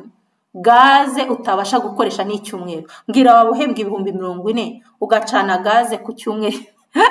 Ibi ni agahomamunwa ni ibintu birenze ni ibintu birenze abanyarwanda. Ni akumiro akabi gasekwa nk'akeza hari ibikoresho by'isuku nyine twari twarebye nanone ari byo ah, isabune ari byo omo. Ngewe mbona ko atari na ngombwa. Isabune isabune ni ingenzi ku isuku. Ariko nyine ibintu byose twavuga ngo biri imporute bi- biva ku isoko ku isoko ibiciro byaratumbagiye. Twibuke yuko imipaka barayifunze nta buhahirane na uganda bwashobokaga. Sinzi niba museveni na anko we na ba anko barabyumvikanye gutyo kugira ngo bafunge imipaka abaturage basonze nibirangiza ibiciro babihanike. Ibiciro babihanike aho umuntu adashobora no kwigurira isabune y'ibihumbi bibiri banyarwanda. Ntabwo nabashije ntabwo nashatse gusubiramo inkuru zatambutse. za- z'ukuntu mwabonye ku tuvidewo dutandukanye aho abana bari kugaburirwa cyohoha ku isahani ku ishuri. Hariho poroje ngo no hanga nyine kugaburira abana ku ishuri ngo nta mwana ugomba gusonza ku ishuri. Urebye ibiryo bano bana bari kurya ku ishuri mwokabyara mwe mwokagira imana mwe. Wavuga ngo tuyobowe tuyobowe n'abagome tuyobowe n'abagome. Igihugu baragifashe nk'uko umwami Freeman yatubwiye barakiboha baratubohuza baradutobatoba barongera barongera baratuboha bari kutwicisha inzara bari gushyiraho ibiciro uko byishakiye kandi buri gihe abanyarwanda twibukiranye haba hari imbarutso. Korona yaje korona yaje batumbagije ibiciro. Noneho ikintu bazanye mu rwanda bazanye ngo uruganda rukora inkingo. Niko se munyarwanda? Ntabwo ndwanya iterambere mu gihugu cyambyaye. Inkingo uzazishyira mu nkono uzirye. Ubwo urumva ari inkingo ukeneye. Hajeho ngo uruganda ngo rwo gukora ngo ngo za volvo ngo volkswagen ngo mu rwanda. None se munyarwanda imodoka uzayijyamo igifu kiri gutema amara? Ndebera aho ibiciro bya esanse bigeze ariko ibyo ntabwo ari cyo twakugambiriye kuganira uyu munsi. Ibiciro ku isoko mubibonye gutya. Mwebwe bo muri diaspora mugaruka mutange amafaranga nzabagarukaho ubutaha ariko turebe turebe ibi bintu. Urumva watunga imiryango ingahe wa mugani w'umwamikazi idamange nawe ukitunga mutanyiraririyeho abantu bo muri diaspora. Watunga imiryango ingana gutya? Wowe mu gatsiko hari umuntu uvuga ngo ngiye nkorera miliyoni. Ariko urebye amafaranga ntanga ku biryo. Agendera n'ibyo bya fpr zigacomora hano igacomora hano igacomora hano. Ati nshiduka ndi gusabiriza minerivare y'abana kandi nitwa ngo ufite umushahara uhagije urenze uhagije muri iki gihugu. Iyo tuvuga ngo igihugu cyaragurishije rero ntabwo ari amatiku ntabwo ari iki? Inkingo indisitiri y'inkingo yasimbuye ibiryo ibyaro byarakakaye mu ruhengeri bawe. Niba barahateye itabi niba n'iryo tabi naryo ryarabunguye niba barahateye ah, rwa rumogi bacuruza bagize ofisiyeri niba mu ruhengeri hasigaye haba iki? Byaranyobeye byaranyobeye byaranyobeye abanyarwanda ubwo rero kuri ibi biciro nimuze tubiganireho muri zumu narangiza mvuga nti umuhanuzi magayane magayane niko kantu ndangirije yaravuze ngo hazabaho agahiri n'agahinda. Bazarya akaribwa n'akataribwa. Igihugu bazagisenya bazakijagaraza bazagisandaguza kurusha uko bagisanze. Hari umunyarwanda uh, wayoboye igihugu aravuga ati bavandimwe mwirinde imitego y'umwanzi mwirinde mutagwa mu mutego w'umwanzi. None munyarwanda ntabwo navuga ngo twirukanye umuyobozi uguguna igufatuza n'urimo irabunguri kubera ko ntabwo twanamuzanye. Twarabohojwe ahubwo. Twafashwe ku ngufu. Munyarwanda rero ushonje niba witwaje cogamu ibyo birakureba. Niba witwaje ngo umuyobozi wanyu uyobora neza kurusha ubarusha intambwe ibyo birakureba. Banza urebe n'ibyo twaganiriyeho ubushize mu nda yawe harimo iki? Mm? mu nkono yawe harimo iki? Kuri konti yawe harimo iki?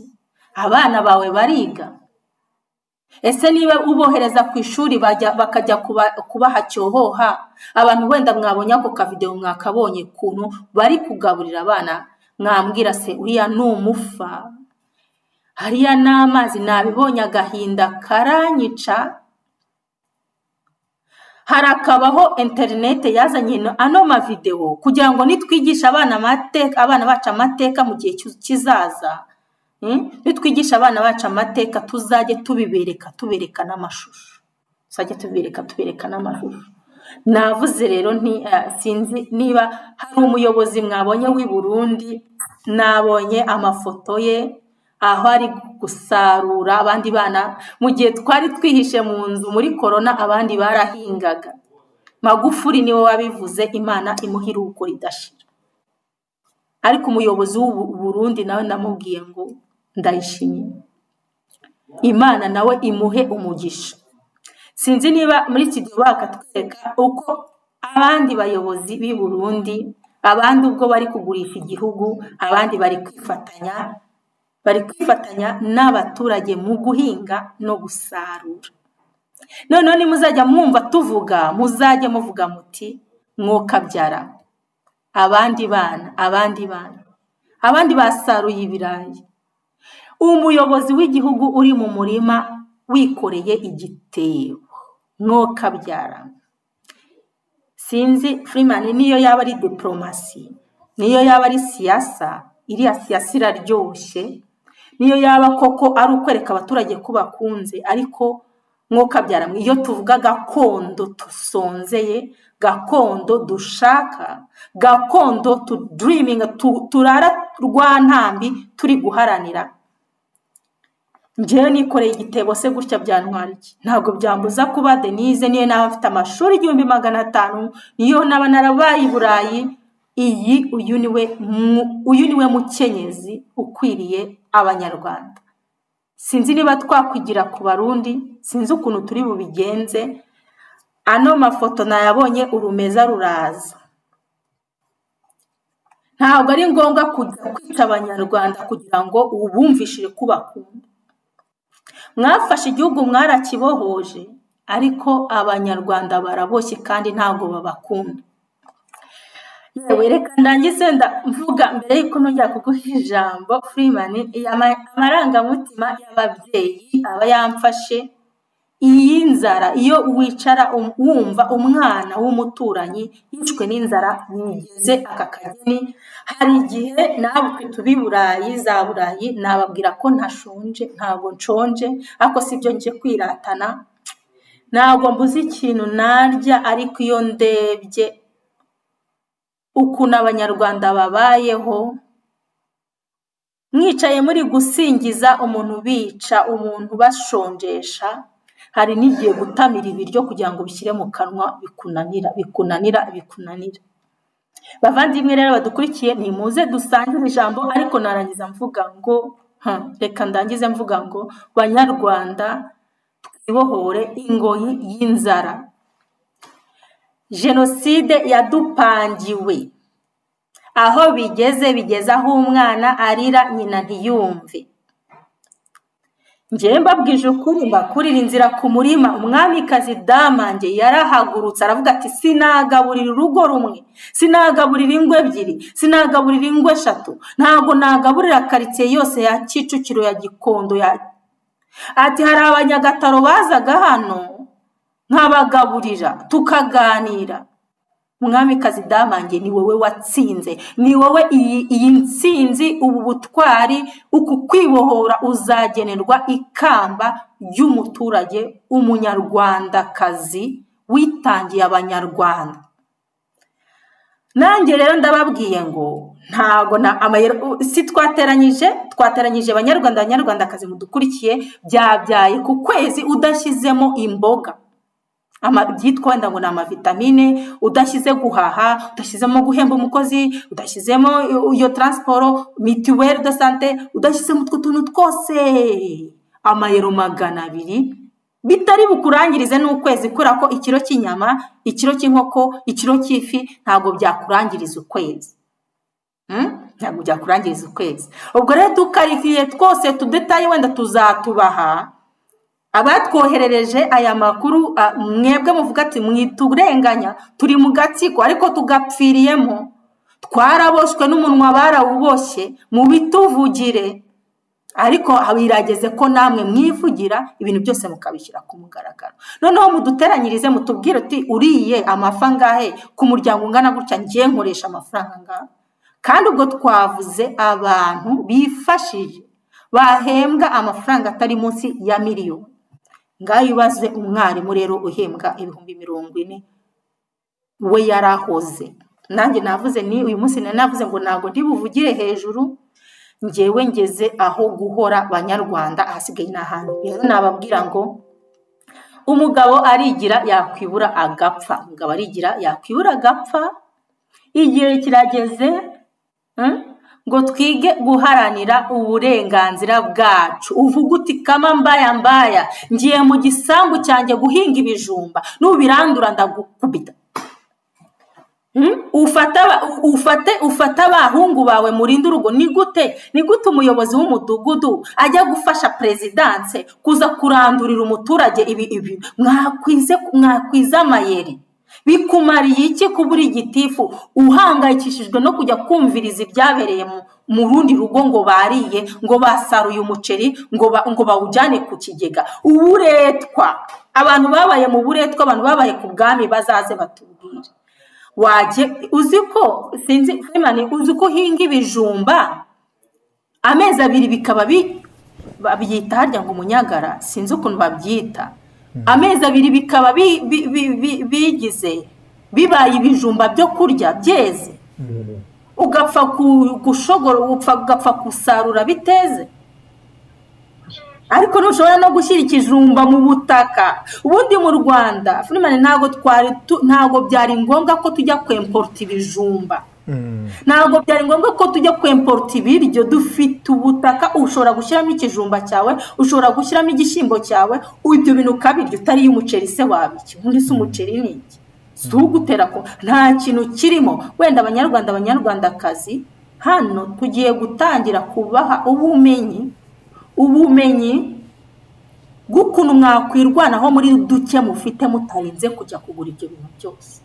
Mutarinze kujya kwipasa muremure. Nababwira rero ngo shaka uburyo uhinga ikigori cyawe. Umuntu naza kugiteraho umuka ubundi baravuga ngo iyo umudamu yaraka iyo umudamu umwana iyo ubundi umuntu inzara yamwishe iyo umubyeyi umwana yamusonzanye yiga kwirwanaho ntabwo rwose mu rugwiro bazaza bazaza ku nushaka usingiza inshuro ijana. Ariko urashonje mayidiya urashonje. Nta kintu wambeshya. Urashonje. Cogama iraza ugapositinga udusitati ukagira gute? Eee reba imana yanjye. Aha rero hari hari ukwiga gusuzugura. Mwige gusuzugura. Kuko si ubwo wabigenza gute? Umuntu arahahisha indege. Umuntu araza kugura muri derezi muri za kororayiti muri za karefuru njye nashobora kukubwira hari umunyarwanda tubiziranyeho ntabwo ari ukumuberera ibanga. Yarambwiye ngo ntabwo narya ifarini yo mu rwanda iba isa nabi. Mba nshaka ya farini y'iwanyu mu bubirigi kandi iyo farini ya hano nta ntungamubiri na i iyibereye ifarini yo mu rwanda irimo za poroteyine yakurere ibyabara ubona niryo ririmo poroteyine ariko reka indege igomba kumanuka imanukanye utuntu twose bukenere ku kwezi. Nababwira ngo umuntu uri buhahisha indege ntabwo ari uzaza kumenya ko wishishwe n'inzara. Uzapfa nyine ugende? Igihugu bazakizanamo muri libiya boris johnson azakizanamo bamikazi? Niba muzi neza mu ruhengeri muri za hoteli zo mu ruhengeri hari hari icyumba cya angelina jolie? Hari ingagi ya black pit? Hari hari hari nuza uriya bill gate afite y'icyumba hoteli yo mu ruhengeri tuzabigarukaho. Amadolari ibihumbi bibiri magana atanu ku ijoro rimwe. Eee bayi bayi rwanda. Denise hari na hoteli zibamo ibihumbi makumyabiri na bitanu. Hagati y'icumi na makumyabiri na bitanu mu rwanda by'amadolari mu rwanda. Wowe uri gukaranga amazi bari kuyagusukira ku kawunga. Munyarwanda twatangiye tuvuga ngo u rwanda ntabwo ari u rwanda fini u rwanda. Ni ukurureba muri televiziyo ni ukurureba muri televiziyo rwaragurishijwe ubwo rero nakubwira ngo nutiga gusuzugura munyarwanda amafaranga ya diaspora azagera ahashire uwo mushahara bari gukatakata bakatakata bakatakata uzagera aho ushira muzageraho nta kintu kikiba mu murima muhingira. Wasanga n'ibyo bigori bahinga furimani bagenda bakabyihera inka. Inka za ba nyir'igihugu mu mutara. Wasanga ibyo bigori ari ibyo kugaburira inka za ba nyir'igihugu. Hano ibigori nta muntu urya ibigori ibigori ni byinshi. Inzara itema amara. Banyarwanda reka twige gusuzugura amategeko atari ngombwa. Twige gucira ubwoba. Nitugira ubwoba inzara izatwica umuntu ufite inzara ntabwo agira ubwoba ni wowe watangiye uvuga firimani ngo umuntu yateraga gatarina urugi bapufu kandi bagatarina bayiteraga mu rugo rw'umukire ntabwo ndi kubigisha kujya kwiba no kubomora inzu z'abandi. Ariko umuntu ushonje umubyeyi ushonje umubyeyi umwana yashonzanye arirwariza. Nidufatanye gushyigikirana n'ibyo navugaga. Dufatanye gushyigikirana kubera yuko niba gitifu ari kuza kurandura imyaka y'umuturage kandi abandi bicaye mu rugwiro bari kuhahisha indege tuzafatanya kwiryanisha no kwimara. Nidukundane rero. Ujya gukundana wenda nta joteme inzara itamamara ariko ukunda umuturanyi wawe ntabwo wajya kumurandurira umuceri wajya ucunga bya sitoke mukagenda mukabyiba si ubundi mwabyibye si ubundi abajura baba hehe izo sitoke kuki mutagenda ngo muzibe? Mugabagabane mu ngo murye muhage. Basange mwahaze babica babarasa byagenda gute? Nitwirwaneho nitwirwaneho navuga navuga. Menshi menshi menshi. Narangiza naho ndangirije bavandimwe nimuze tuganire. Nimuze tuganire hanyuma mu gihe tukibategereje firimani gira ijambo ry'ihumure ugeza ku banyarwanda. Turi kwifuza gakondo reba ubuyobozi bwo mu burundi ukuntu bumeze. Ngewe nakubeshya iriya niyo gakondo nifuza. Mbonye uriya fasiti redi umeze kuriya n'umutware w'abanyarwanda umeze kuriya ntabwo byagabanya amashuri wize ntabwo byakugabanyiriza icyubahiro ufitiye mu banyarwanda cyangwa mu barundi. Ntabwo byagukuraho ubusirikare n'ubuhangare ufite ariko ukagira igikundiro cy'umuturage. Abanyarwanda barababaye bakeneye gutabarwa ariko buri muntu niyibere inyenyeri. Mugabo arigira yakwibura agapfa nutirwanaho ntabwo umuntu uhahisha indege ari we zaza kukugaburira. Kandi ibyo bintu mwirariramo byose mwirarira ngo ngo kagame wacu ntabwo nshaka kujya kumuvuga umuyobozi wanyu ngo ngo u rwanda ni rwiza ngo mufite ishyari ngo murashaka kuyobora. Firimani ijambo ni iryawe hanyuma turebe dutere n'akajisho muri cati navuze nari navuze ngo uyu munsi nditonda ndavuga ncishije make kubera ko nari numiwe. Nari numiwe kandi biracyaza abanyarwanda. Tuzajya dushyira ukuri mubayeho ku mugaragaro. Ariko namwe birageze ko muza kukwivugira. Firimani ijambo ni iryawe urakoze urakoze umwamikazi. Denise uduhaye uduhaye wawu uduhaye ubumenyi bukarishye uduhaye ubumenyi bukarishye. Ariko hari akantu uvuze ngo umuntu uza kugufasha kurandura umuntu uza kurandura ibyawe. Ndagira mbabwire ngo hano muri leta zunze ubumwe za amerika abaturage benshi babagize nk'uko mu rwanda bimeze aka kanya. Bivuga ngo ntabwo abanyamerika benshi basanzwe basanzwe bazi guhinga icyo ari cyo. Ntabwo bazi kuba wakora akajaride nko mu gikari wawe. Nta nubwo bazi uko waba wafata nka vaze cyangwa se biriya byungo ushyiramo indabyo ukaba wateramo nk'itomate.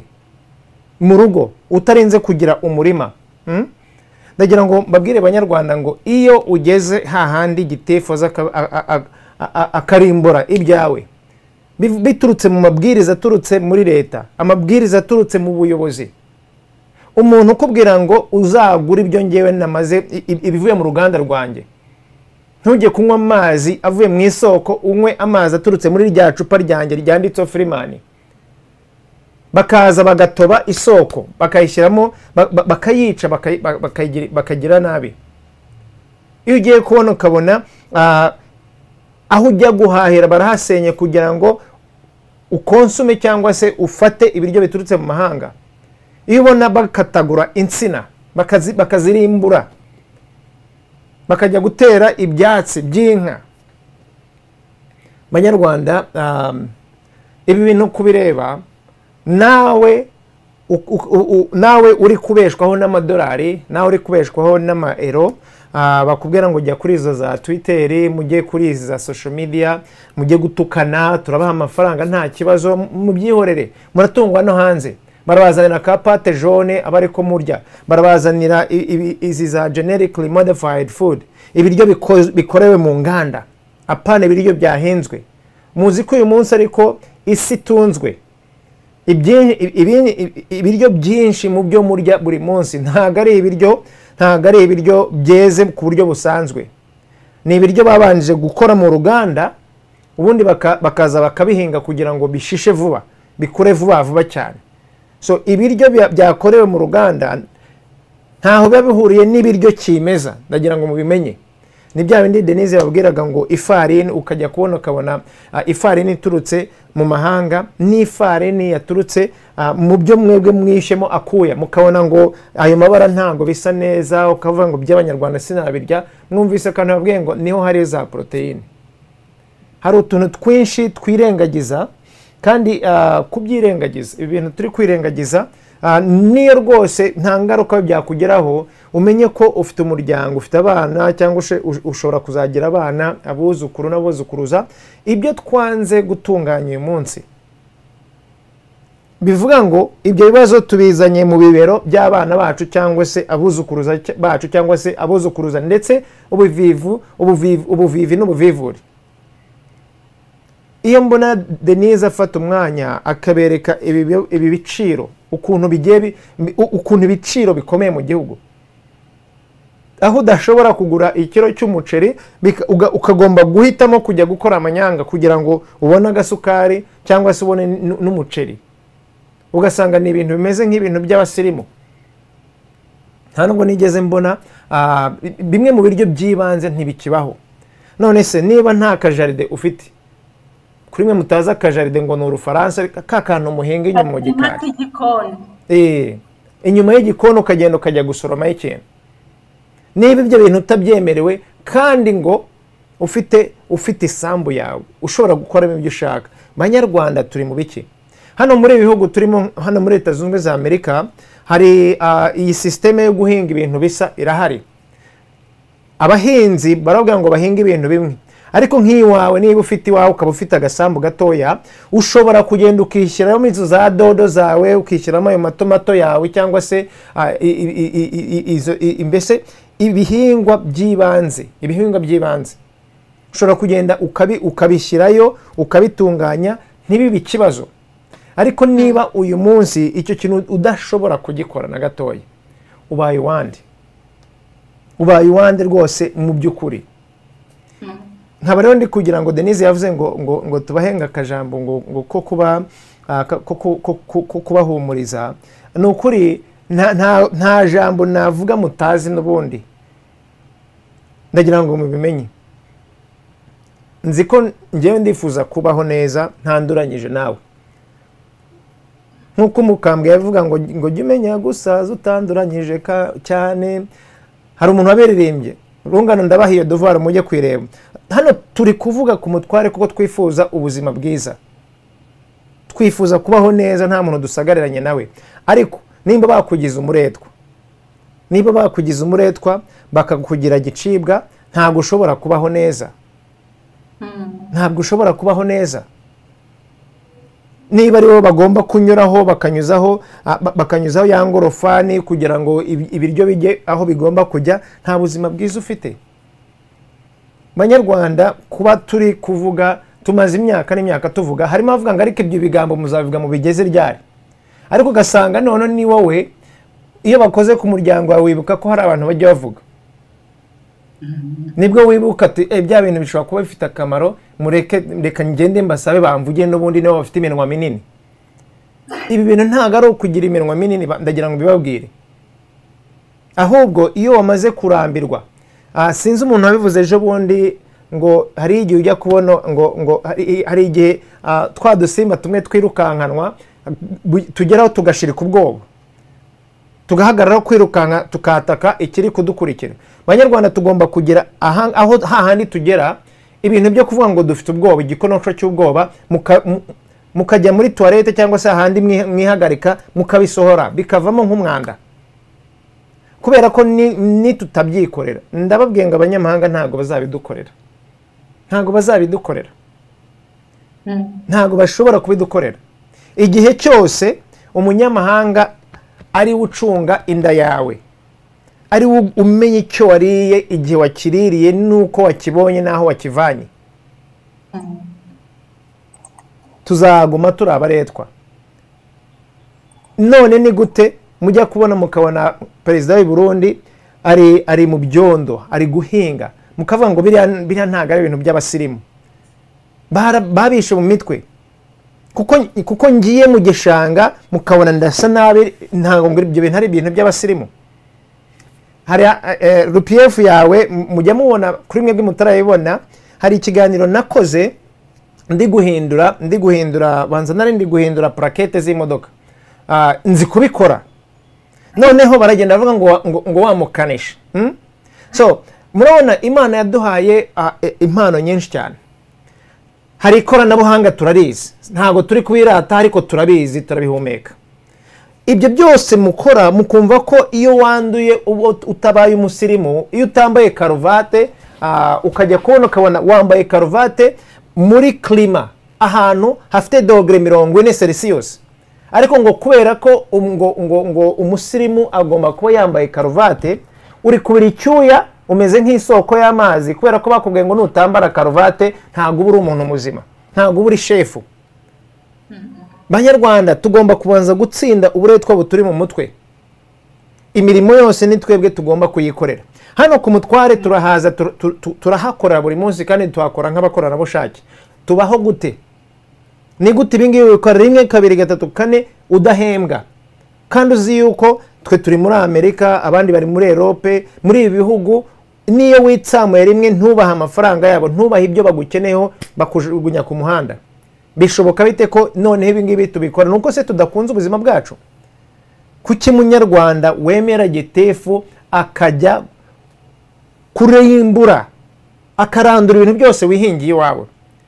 Ubundi ukavuga ngo yego mwidishye nceceke ndamucyo hari uburetwa burusa ubu- burusa ubwo ngubwo. Uhinga umuceri wakoraho akarahore kamwe bakabikuryoza. Hari uburetwa burenze ibyo ngibyo koko? Ugira inkoko ntube wafata, n'agakoko na kamwe ngo ugatekere abana. Kubera ko iyo komande y'inkoko igomba kujyanwa kuri hoteli ah, kuri, ayo mahoteli y'aba- y'abantu b'aba- b'abakire. Hariya mu kinigi heraga ibirayi. Mubaha- mubahaye abazungu. Baraje noneho bakoreyeyo ubushakashatsi. Inzara irabishe. Washaka guhinga ibirayi bakaza bakabirandura. Kubera iki? Kubera ko hari urundi ruganda hari indi organization iri gukoresha ubwo butaka. Muzi ukuntu amakoro afite poroteyine ah, ku, biribwa? Ahantu igihingwa cyeze hariya hari mu makoro mu butaka bwo mu makoro. Biba bishishe ariko se kugira ngo bagende bahatere ibyatsi aho gushyiramo ibi- ibiryo bisanzwe ibyo kurya bisanzwe byatunga igihugu cyose. Banyarwanda ibi ni byo tuvuga none rimwe na rimwe mukagira ngo ni urwango tuba dufite. Ntabwo ari urwango ahubwo ah, ibyo twabonaga turi bato uyu munsi turabibona kuko tumaze gukura ukavuga ngo umuntu ikintu baraduhondahonze ku mutwe. Reka nicecekere nshyiraho ingufuri ku munwa kuko iyo ngeze ahangaha nanjye ndavugishwa cyane. Ariko banyarwanda ndabisabira muze duharanire umurage wacu w'igihugu. Muze duharanire gakondo yacu. Mu- muze turuhire ibyacu. Ntitujye gutegereza madana. Ntitujye gutegereza iyo pato jone ivuye hano muri amerika. Aho bayikoze mu ruganda bakayikoherereza. Ntimugende ngo mutegereze ibyo kuko mutanazi nuko byabagezeho. Kuki utagenda ngo uruhire ibyawe? Uruhire akantu wiyushyeho akuya. Nibyo mbifuriza. Denise reka mbasubize mikoro. Wakoze kuri iki kiganiro cyiza waduhaye. Iki kiganiro njye kintera umujinya ariko kigatuma none numva nanibyaramo nka ba firimani igihumbi tukagenda tukamera nka virusi korona muri make. Tukagenda tukabwira abanyarwanda bose ngo nimuze twongere twikore kuko ibintu birakabije. Sinzi n'uburyo njye nabivugamo nta- ntabiraririyeho ariko ibintu birakabije. Ni bande muhembwa igihumbi ibihumbi bibiri ibihumbi makumyabiri mushobora no kurya umugati? Mushobora kugura iyo marigarine. Byihorere Karibu, byihorere karibu. Freeman. Rwose ni- akaga ni agahomamunwa abanyarwanda abanyarwandakazi muri cya ki- ikiganiro cyo kwibohoza.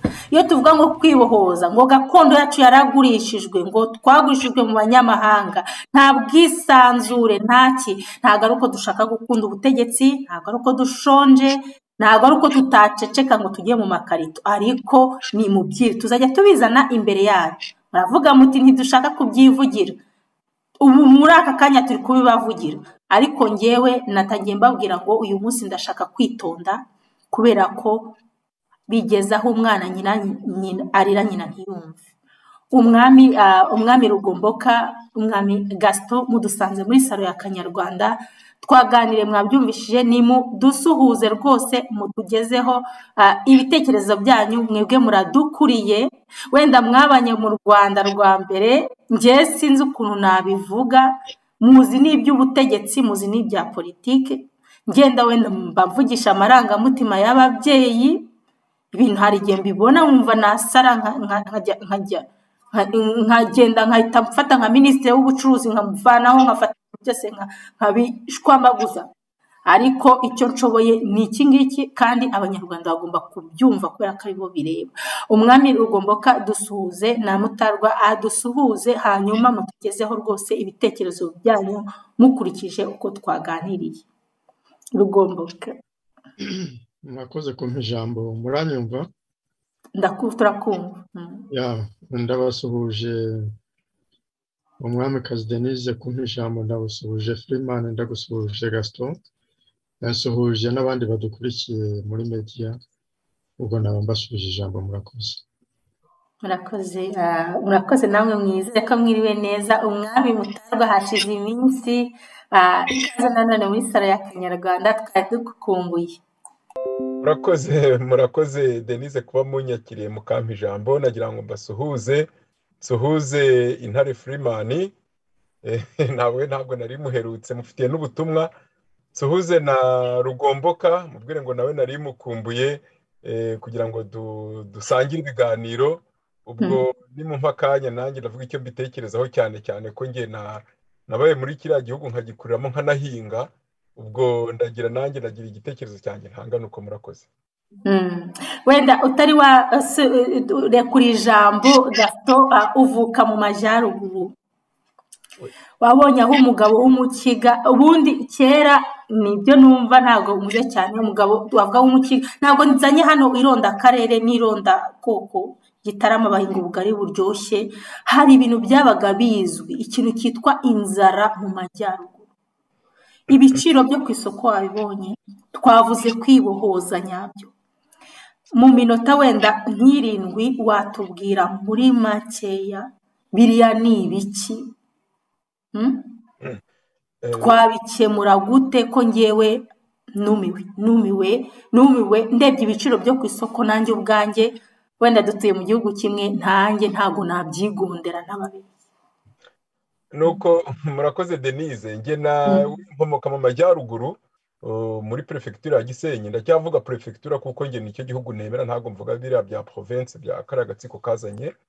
Ariko nagize n'amahirwe yo kuba kwiga aho bita ishyogwe igitarama noneho nkajya ngira n'ibiruhuko byinshi nabaga ndi i butare kubera hari umuvandimwe wahabaga wigishaga i butare nakundaga kuba ndiwe.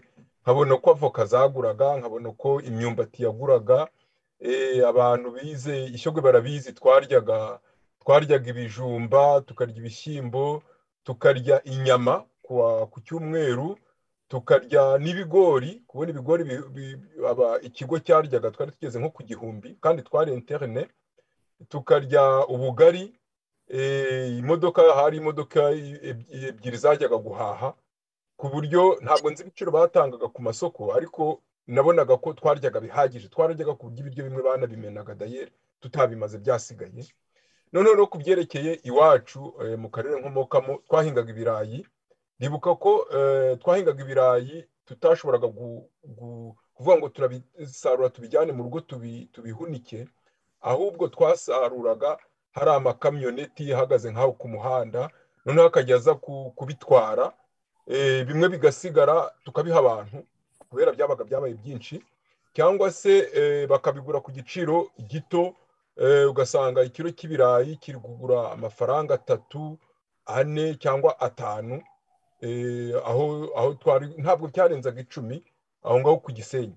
Iyo byageraga n'i kigali byabaga wenda bari kuvuga ngo byahenze ariko yari nk'amafaranga makumyabiri ntabwo byarenzaga amafaranga makumyabiri. Aho ndavuga ibirayi twahingaga rero n'ibijumba ibijumba hari igihe n'ibijumba hari igihe twigeze kweza ibijumba tukabitangira ubuntu kugira ngo bidapfa ubusa icyo gihe hari hacitse inkangu mu karere k'iwacu muri giciye tukabitangira ubuntu kugira ngo bidapfa ubusa tugashaka abantu babifata na byo tukababura bimwe tukabijugunya. Urumva ko hareraga icyo gihe. Ukuntu rero kariya gatsiko kaje kakavura biriya amfete ni muri ya pura yabo yo gukorera abanyarwanda jenoside. Muribuka ko hari hari amakamyo murebye no kuri yutube mwabona amafoto cyangwa kuri kuri google mukabona amafoto ukuntu amakamyoneti yavaga ikibungo atwaye ibitoki. Igihe rwose nigeze kuba ndi muri mu isoko ndi ahantu muri rugende iyi kamyoneti iraza irahagarara umugabo ampa imineke. Nta niyo nayimusabye arambwira ati ntabwo ushaka imineke. Urumva ibyo bintu hari ibiryo bihagije. Buri karere keragamo ibintu abantu begereye kabgayi baza bavuga ngo mu kibaya cya rugera migozi imigozi y'ibijumba. Hari ibijumba. ku buryo n'ubu nkunda ibijumba kubera ibyo najyaga aho ngaho. Ngakunda voka kubera voka narijyaga igihe nabaga ndi butare zaguraga. Urebye isave ni nk'ubusa wabonaga zaguraga nk'ubusa. Ukagenda ufite amafaranga abiri bakaguha avoka. Ibyo ni ibintu njye nabibayemo kugeza muri mirongo cyenda na kane. Niko ibintu byari bimeze. Kariya gatsiko rero pura yako yo kwicisha abanyarwanda inzara ni ya jenoside kaje nyine gakorera abanyarwanda. N'ubu ikaba igikomeje. Iriya ni pura bakoze kuko kubona umuturage yeze mu murima we ibyo yahinze yavunikiye yajya kubisarura bakamubuza bakamufunga agakubitwa agacibwa amande biriya ni ya jenoside nyine kugira ngo bicwe n'inzara. Noneho nanasarura bamushyirireho igiciro ngo agomba kubigurishaho. Twe rero iyo twabaga twahinze nk'ibigori kuko nta biriya by'amafumbire baza guha birimo n'uburozi dayeri guha abaturage. Iyo twabaga twejeje ibigori hari ibyo hari igihe twavuga ngo reka tujye kureba ko byeze tukagenda tugaca ibigori dushaka rwose tukazana mu rugo tukotsa ibindi tugateka. Bara none igihe cyo gusarura tugatumira abantu ntabwo twashoboraga gusarura turi turi twenyine twatumiraga abantu hirya no hino abo twari duturanye bakaza kudufasha tukirirwa turi gusarura ibigori. Noneho tugasukaho mu mbuga sinzi niba mu rwanda imbuga ku birago. Noneho bikazaguma hanze kugeza igihe byumiye tukabishyira mu bigega. Ibigega byabaga hanze. Ibirayi twabaga dusarura ibirayi byo twabaga dushoboye kugeza mu rugo tutabigurishije. Twabunikaga hanze. Nta muntu wazaga kwiba ibirayi cyangwa ngo aribe ibigori cyangwa ngo aribe amasaka. Byabaga hanze kugeza igihe twenze ibigage cyangwa se ibigori tukabitera cyangwa se tukabirya. Ariko twageraga mu gihe cyo guhinga ibindi cyo kweza ibindi bya bindi na byo bigihari. Ari bike cyane ariko bigihari. Ku buryo ibintu by'inzara iwacu ntabwo nigeze mbibona. Kuko niyo mvuganye n'abantu bakambwira ngo ngo hano hari inzara ngo nta muntu ugihunika ngo ngo mu ibigori ngo hanze mu kigega. Nibaza ukuntu kariya gatsiko kagize abanyarwanda nkibaza koko niba karaje gashaka ngo ngo igihugu gakunda cyangwa se karaje ngo kaje gusenya igihugu kabeshya ko gakunda. Ko njye mu mugambi ni ugusenya igihugu kwica abanyarwanda kubakorera jenoside kuko iriya ni jenoside y'ubundi bwoko tugomba kujya tubivuga. Jenoside katangiye tariki ya mbere z'ukwa cumi muri mirongo cyenda n'ubu iracyakomeje. Ni uko yahinduye ubwoko nako ukuntu ikorwa ariko iracyakomeje. Ariko se gasito niyo waba niyo waba ugiye kuhugira umuntu umucakara ubundi umuja ntago arya ntago ntago umucakara ahubwo umuja ntago wamugaburira agahaga kugira ngo agukorere neza. Hari umusaza twigeze kuganira muri umuntu wa sogokuru arambwira ati mbere yuko yitaba imana arambwira ati ibintu aba bayobozi yavuze ngo abayobozi kuko yari ari mu rwanda amarezima yitabye imana aravuga ngo ibintu abayobozi badukorera ngo no ku bwami sinigeze mbibona. Koko no ku bwami igihe hari abaja abantu birirwaga bari gukora hari uburetwa umucakara yarakoraga umuntu uri ku buretwa bakamugaburira ntabwo yakubitwaga cyangwa se ngo uduke afite naje kuturya natwo batumuzize batumwake bamukubite. Ibyo bintu ntabwo byabagaho. Ubu rero ni byo biriho ni kwa kundi nini ya jenoside. Mujye mureba ukuntu abanazi ibintu bakoreraga abantu bangaga ubutegetsi bw'abanazi cyangwa se ibintu bakoreraga abayuda. Nibyo neza neza kariya gatsiko gakorera abanyarwanda. Nta hantu bitaniye.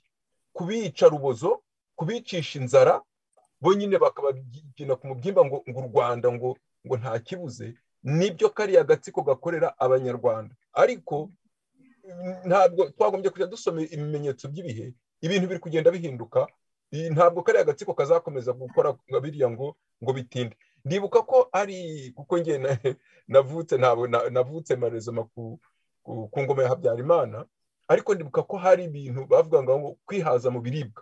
Hakaba porogaramu nk'iyo kwihaza mu biribwa. Ndibuka ko hari hari ikiganiro nabonye mu minsi ishize igihe perezida habyarimana yagiranaga ikiganiro n'umunyamakuru w'umusuwisi ari kumubaza ku byerekeye irwa ry'ibiciro by'amakawa ku isoko mpuzamahanga. Avuga ko nubwo igihugu cyakwinjiza amadovize make ko umuturage nta ngaruka bigomba kumugeraho ko bazakoresha uko bashoboye kose umuturage agakomeza nivo doviye yari afite. Ni ukuvuga ko ntiyumve iryo gabanuka ry'ibiciro ntibimugireho ingaruka. Hariya ho rero kariya gatsiko ko gakoresha uko gashoboye ku buryo akantu kose umuturage agomba kurya yababaye kandi nabwo akarya ibidahagije. Ibyo ni byo ndi kubabwira inti iriya ni ya jenoside kariya gatsiko kaje gafite kagikomeje kugeza n'ubu ku buryo twe tuzayamagana nta navuga ko nta zindi negosiyasiyo tugomba kugirana nako uretse kuyamagana kuko iyo urebye ibiciro bakakubwira ngo hari umugabo twavuganye uyu munsi ari ari i kigali ubu ngo byeri ngo uri kugura ngo igihumbi n'ijana. Uwo ni umukire ukinywa na byeri abandi babuze n'ay'ibirayi oya namubwiye nti hano i burayi izuba rimeze nabi. Arambwira ati hano dufite ikibazo. Ati dufite izuba tukagira n'icyaka ntabwo wafata akabyeri kamwe. Ati iri kugura igihumbi n'ijana. Urumva yashaka kunyumvisha ko atanywa akabyeri. Ndibuka ndi mu rwanda byeri yaguraga amafaranga mirongo inani. Wenda tuvuge ko ifaranga ry'u rwanda ryataye agaciro. Ariko kugeza igihe byeri icupa rya byeri pirimusi rigeze ku gihumbi ibyo ntabwo ntabwo nabitekereza ko ibyo bintu byaba ari byo. Ariko kariya gatsiko niko nyine ibyo byose kabifata kakabishyira mu mufuka wako kagasahura abaturage muri ayo mabyeri gakora kakabategeka kuyagura muri mu bintu byose. Sinzi na mwarabonye ko biriya byacoga mu wenda naba ntandukiye gato ko bagiye babaza buri muturage bati winjiza angahe none wa wundi waba witekoreye nyine agataro ku mutwe ari gucuruza ari kudandaza yavuga ko atinjiza igihumbi nibura mu masaha abiri bakamubwira ngo uzongere gukandagira hano ucogamo yarangiye. Kandi ako gataro ariko kari kamutunze. Mu kumva ubugome nk'ubwo kuva hejuru kugeza kuri ba nyumba kumi njye mbona rero kariya gatsiko iyo sisiteme tugomba kuyirwanya twivuye inyuma kuko abaturage nitwe bahanze amaso tugomba kubavugira ibyo badashoboye kuvuga cyane cyane tukabivuga muri izi ndimi z'amahanga aba bazungu bashobora kumva kuko bafatanije mbega aba banyamahanga bongereza n'abanyamerika ko bafatanije na kagame mu gukorera jenoside abanyarwanda. Ibyo bintu tugomba kubivuga tukabyamagana ibimenyetso birahari ni byinshi. Birahari ni byinshi wenda nimwongera kuma ijambo ndagira icyo mbivugaho. Nuko murakoze. Urakoze urakoze umwami mutarwa. Urakoze rwose reka twumve n'icyo inararibonye rugomboka ibivugaho cyane cyane nk'umuntu uzi gukora bya analize politiki. Hanyuma tugaruke rwose dusoza utubwira ngo yego turi kubivuga ariko se umunyarwanda akora iki? Natwe hano muri diaspora dukora iki kugira ngo ibi bintu tubihagarike? Kubera ko ni ibintu ni agasomborotso kandi guceceka guceceka njye mbona ntabwo ntabwo bikiri solisiyo ku munyarwanda ntabwo ari na solisiyo ku muntu uwo ari we wose. Ninkureka munyarwanda uzapfa kandi nanjye nta kintu ndi bukumarire. Muzeru ugomba ko ijambo ni iryanyu murakoze kumpa ijambo. Mwamikazi denise mu by'ukuri cogomu iza mu rwanda buriya kuri jyewe yari integuza kuba yarabaye ikaba kuri jyewe yari integuza yo kubwira abanyarwanda ko bagiye ahantu habi hakomeye. Ibyo muri kubona by'inzara biri muri mu rwanda biri muri kariya karere cyane cyane mu rwanda ni umugambi ukomeye. Nakwita ni poroje mondiyale yo kugabanya abaturage batuye iyi si. U rwanda rero ni ukuvuga ko ukurikije uko ibintu bimeze ntabwo u rwanda rukiri urw'abanyarwanda. Ku bantu nabibutsa akantu nigeze kubabwira kugira ngo bazongere bumve icyo kiganiro nabahaye cyitwa ngo Bill Clinton mu mugambi wo kurimbura abanyarwanda. Hariya navugaga ko mu rwego rwo kugira ngo bagabanye gukoresha peteroli energy fosile bagomba kwimukira muri green energy. Uyu rero ni umugambi watangiye muri za mirongo inani na gatandatu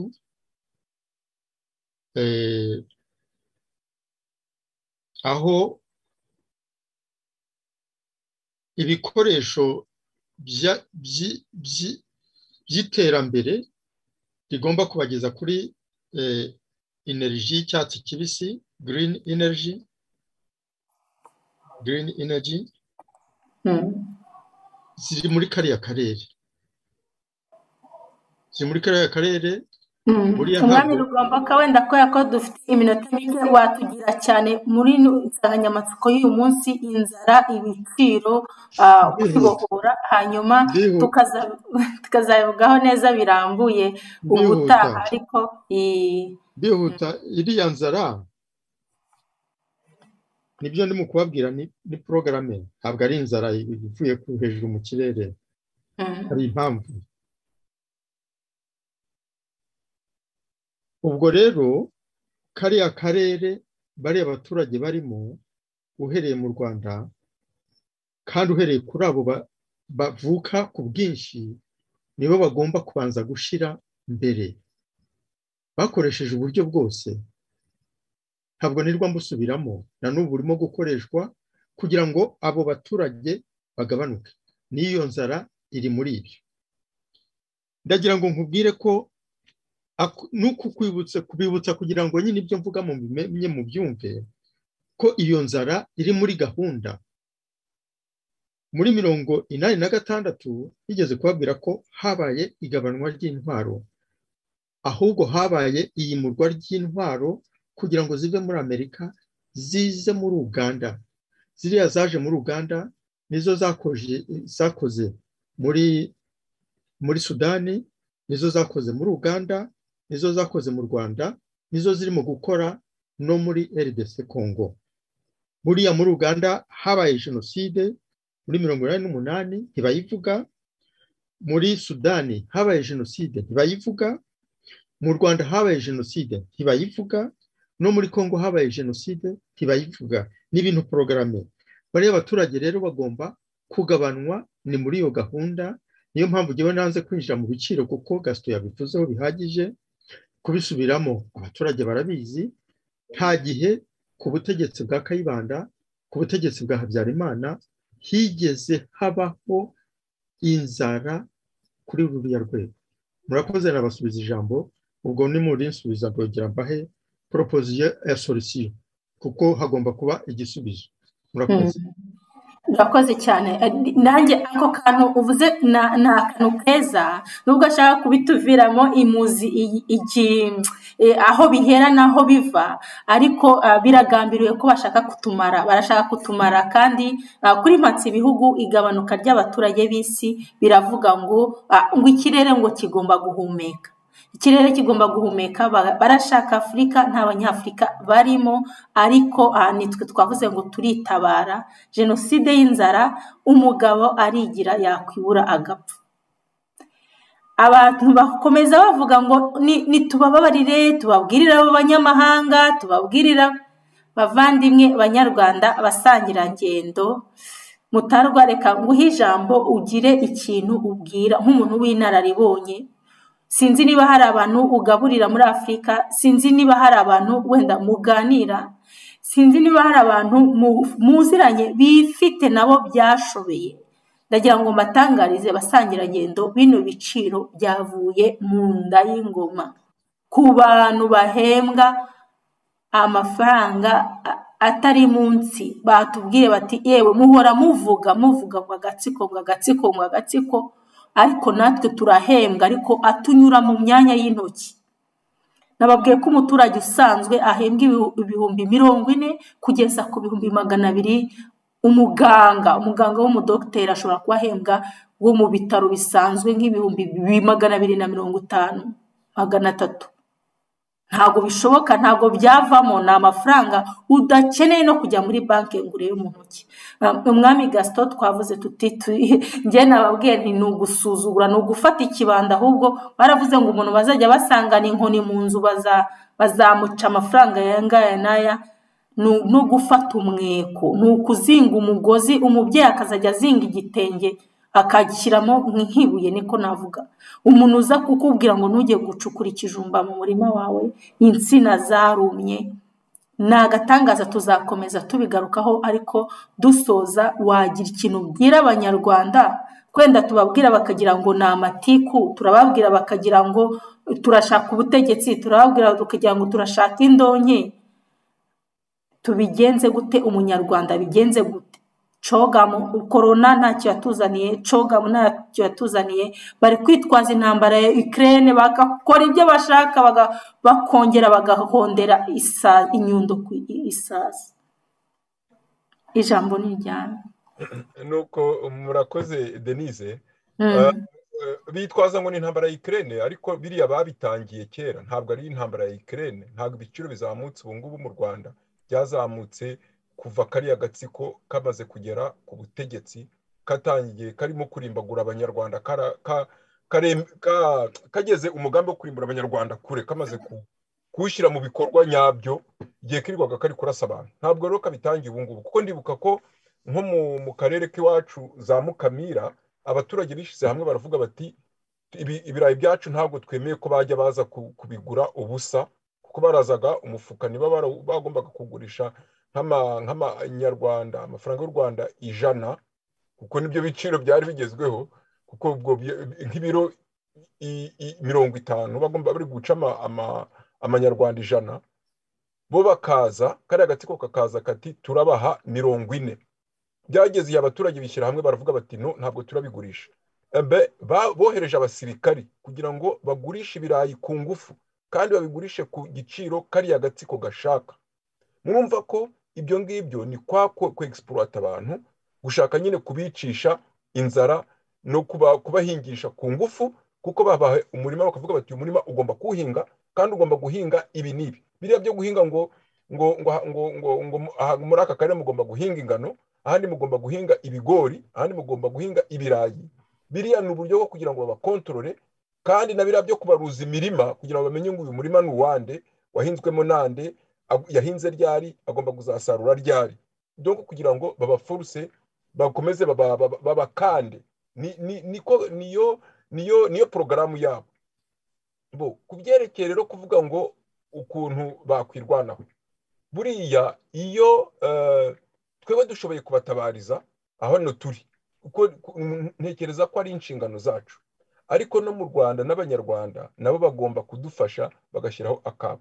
Bakishyira hamwe bakirwanaho dututerefaso bagomba ku ntabwo ndi kubategeka ngo nkaba abanyapolitiki ariko ni ukumenya ko kariya gatsiko kaje kabibasiye kubarimbura. Ubwo rero nabo kuvuga ngo ugiye guca ikigori mu murima wawe cyangwa se gucukura ikijumba mu murima wawe hakagira ngo ni umugitifu cyangwa ntabwo nzi ukuntu babita uza kugusakuriza ebe ufite uburenganzira bwo kumwirukana kuko ni ukwirwanaho. N'igikoresho ufite cyose ariko ukamwikiza. Nutamwikiza bazashaka izindi mpamvu kugira ngo bakumerere nabi. Ibyo bintu natwe ntabwo tugomba kubiceceka hano nk'uko nabibasabye mu kanya. Biriya ni porogaramu y'abongereza nk'uko mumaze kubivuga nyine yo kuvuga ngo bashaka afurika nta banyafurika barimo. Natwe tugomba kwamagana iyo jenoside bakoze bayitangirira i bugande bayikomereza mu rwanda iracyakomeje mu rwanda no muri congo iracyariyo iracyakomeje. Iyo porogaramu rero tugomba kuyirega abayikora bariya bongereza kuko ntabwo byumvikana ukuntu haba coga mu kuriya bariya bavandimwe bacu ba karasira bari no muri pirizo banatabaza abongereza bagaceceka. Bazi neza ukuntu abaturage bari kwicwa n'inzara bagafata abantu bakabakubita ngo bari kubaca mu mujyi wa kigali ngo bikoreye udutaro bariya bongereza bahari hari abanyamakuru ibyo bintu ntibigere babivugaho. Ni ukuvuga ko ari ya porogaramu nk'uko rugomba ko yabivuze ya porogaramu kagame kariya gatsiko kari gushyira mu ngiro gafatanije na bariya bongereza kugira ngo barimbure abanyarwanda. Ntekereza ko ibyo bintu ni inshingano zacu zo kubamagana tugatangira njye nasa abanyapolitiki bacu gutangira kurega uvertoma bongereza ko bari gukora jenoside mu rwanda bari kwikorera abanyarwanda. Nitutabivuga ntabwo ari umuturage uzabivuga. Ariko umuturage nawe ashyire hake yirwaneho ni hahandi umwanzi aramuzi umuntu ushaka kumwica aramuzi. Inyangarwanda ntabwo ni ukubivuga. Inyangarwanda zirazwi kuko ntiwambwira ngo ukunda u rwanda wanga abanyarwanda. Ntekereza ko twe inshingano zacu ni ugukunda u rwanda no gutabariza abarutuye. Ubwo nyuma abanyarwanda bazabona nyine ukunda u rwanda icyo abakorera kuko kuvuga ngo ukunda u rwanda wanga abanyarwanda ibyo ntibibaho. Kariya gatsiko kazaturega ngo twanga u rwanda ariko ntabwo ntabwo twe twanga u rwanda twanga amabi kariya gatsiko gakorera u rwanda kandi tukaze bamagana kandi tukanavuga ko haribo nyangarwanda ariko banga u rwanda. Kuko ibintu bari gukorera abanyarwanda jenoside bari gukorera abanyarwanda nta muntu wayihanganira. Biriya bintu byo kuvuga ngo ngo ngo ngo igiciro ngo ikiro cy'ibijumba ngo kigomba kugura ngo amafaranga magana atanu. Kandi uzi neza ko umwarimu ahembwa ibihumbi mirongo ine ubwo se yataha niki mu rugo? Yahaha ubwo se yahaha amezi angahe? Kandi na wa mushahara ukaza nyuma y'amezi atatu muzi ko mu rwanda abantu bahembwa ni bariya nyine bo mu gatsiko. Abarimu bamara amezi abiri atatu badahembwe. Barangiza kandi bakabaca mwabonye ko babaciye ngo n'amafaranga ngo yo gushyigikira ngo abantu bo muri cogamo ngo gutegura cogamo biriya bintu ni kwa gukomeza kubakamura kugeza igihe nyine bamwe baviremo umwuka. Ubu abarimu navuganye n'umuntu w'umwarimu uva kwigisha akajya guhinga kuko adahinze nta kindi yarya. Namubajije se kuki ukomeza kujya kwigisha wabiretse arambwira ati ntagiye kwigisha abana bacu ntabwo baziga byaba birangiye. Murumva ubwo bugome ubwo iyo jenoside kariya gatsiko kari gukora ahantu igeze abantu basigaye bitanga bakajya kwigisha kugira ngo abana nibura bamenye gusoma no kwandika. Ariko bakaba bazi ko batarahembwa. Njye nkabona rero ibyo ni ibintu tugomba kwamagana tukanabirega bariya bongereza cyane cyane bisubiremo kuko uriya ni jenoside bari gukorera abanyarwanda bafatanije na kariya gatsiko kiyemeje gukorera agashakabuhake kica abanyafurika. Njye mvuga abanyafurika kuko nta hantu katageze. Numva nawe ari cyo nabivugaho denise murakoze. Murakoze murakoze cyane icyo ni igitekerezo cyiza. Wenda ubwo butumwa bwo kurega wabubwira bano banyabwenge bano banyarwanda bano banyapolitike bari mu dushyaka two hirya no hino abari muri opozisiyo hirya no hino ntibakubitirize hirya no hino niba wumva ko kubakunda abanyarwanda umwamikazi ingabire victoire imana imuha umugisha ngewe nk'umubyeyi ufata umwana nkamusiga. Nkikenyurira ingobyi nkajya kwicarana n'abanyarwanda nabwo ni ubutwari.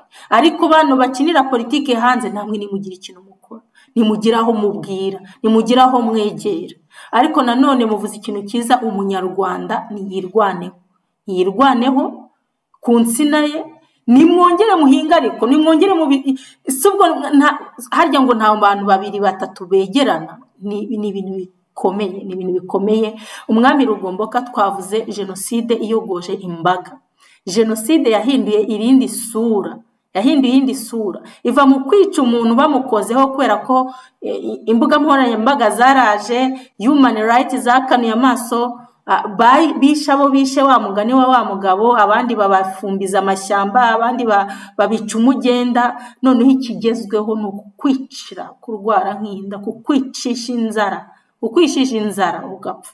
Aho umugabo w'imyaka mirongo ine avuga ati disikuru wankoresha yanyura ni ukumpa ibiryo. Wigira icyo umbwira. Wigira icyo umbwira inzara iranyishe. Umwami rugomboka nabera nabona umuntu w'imyaka mirongo ine wacuramye imisatsi. Ufite amaboko abiri. Kera abantu barapagasaga.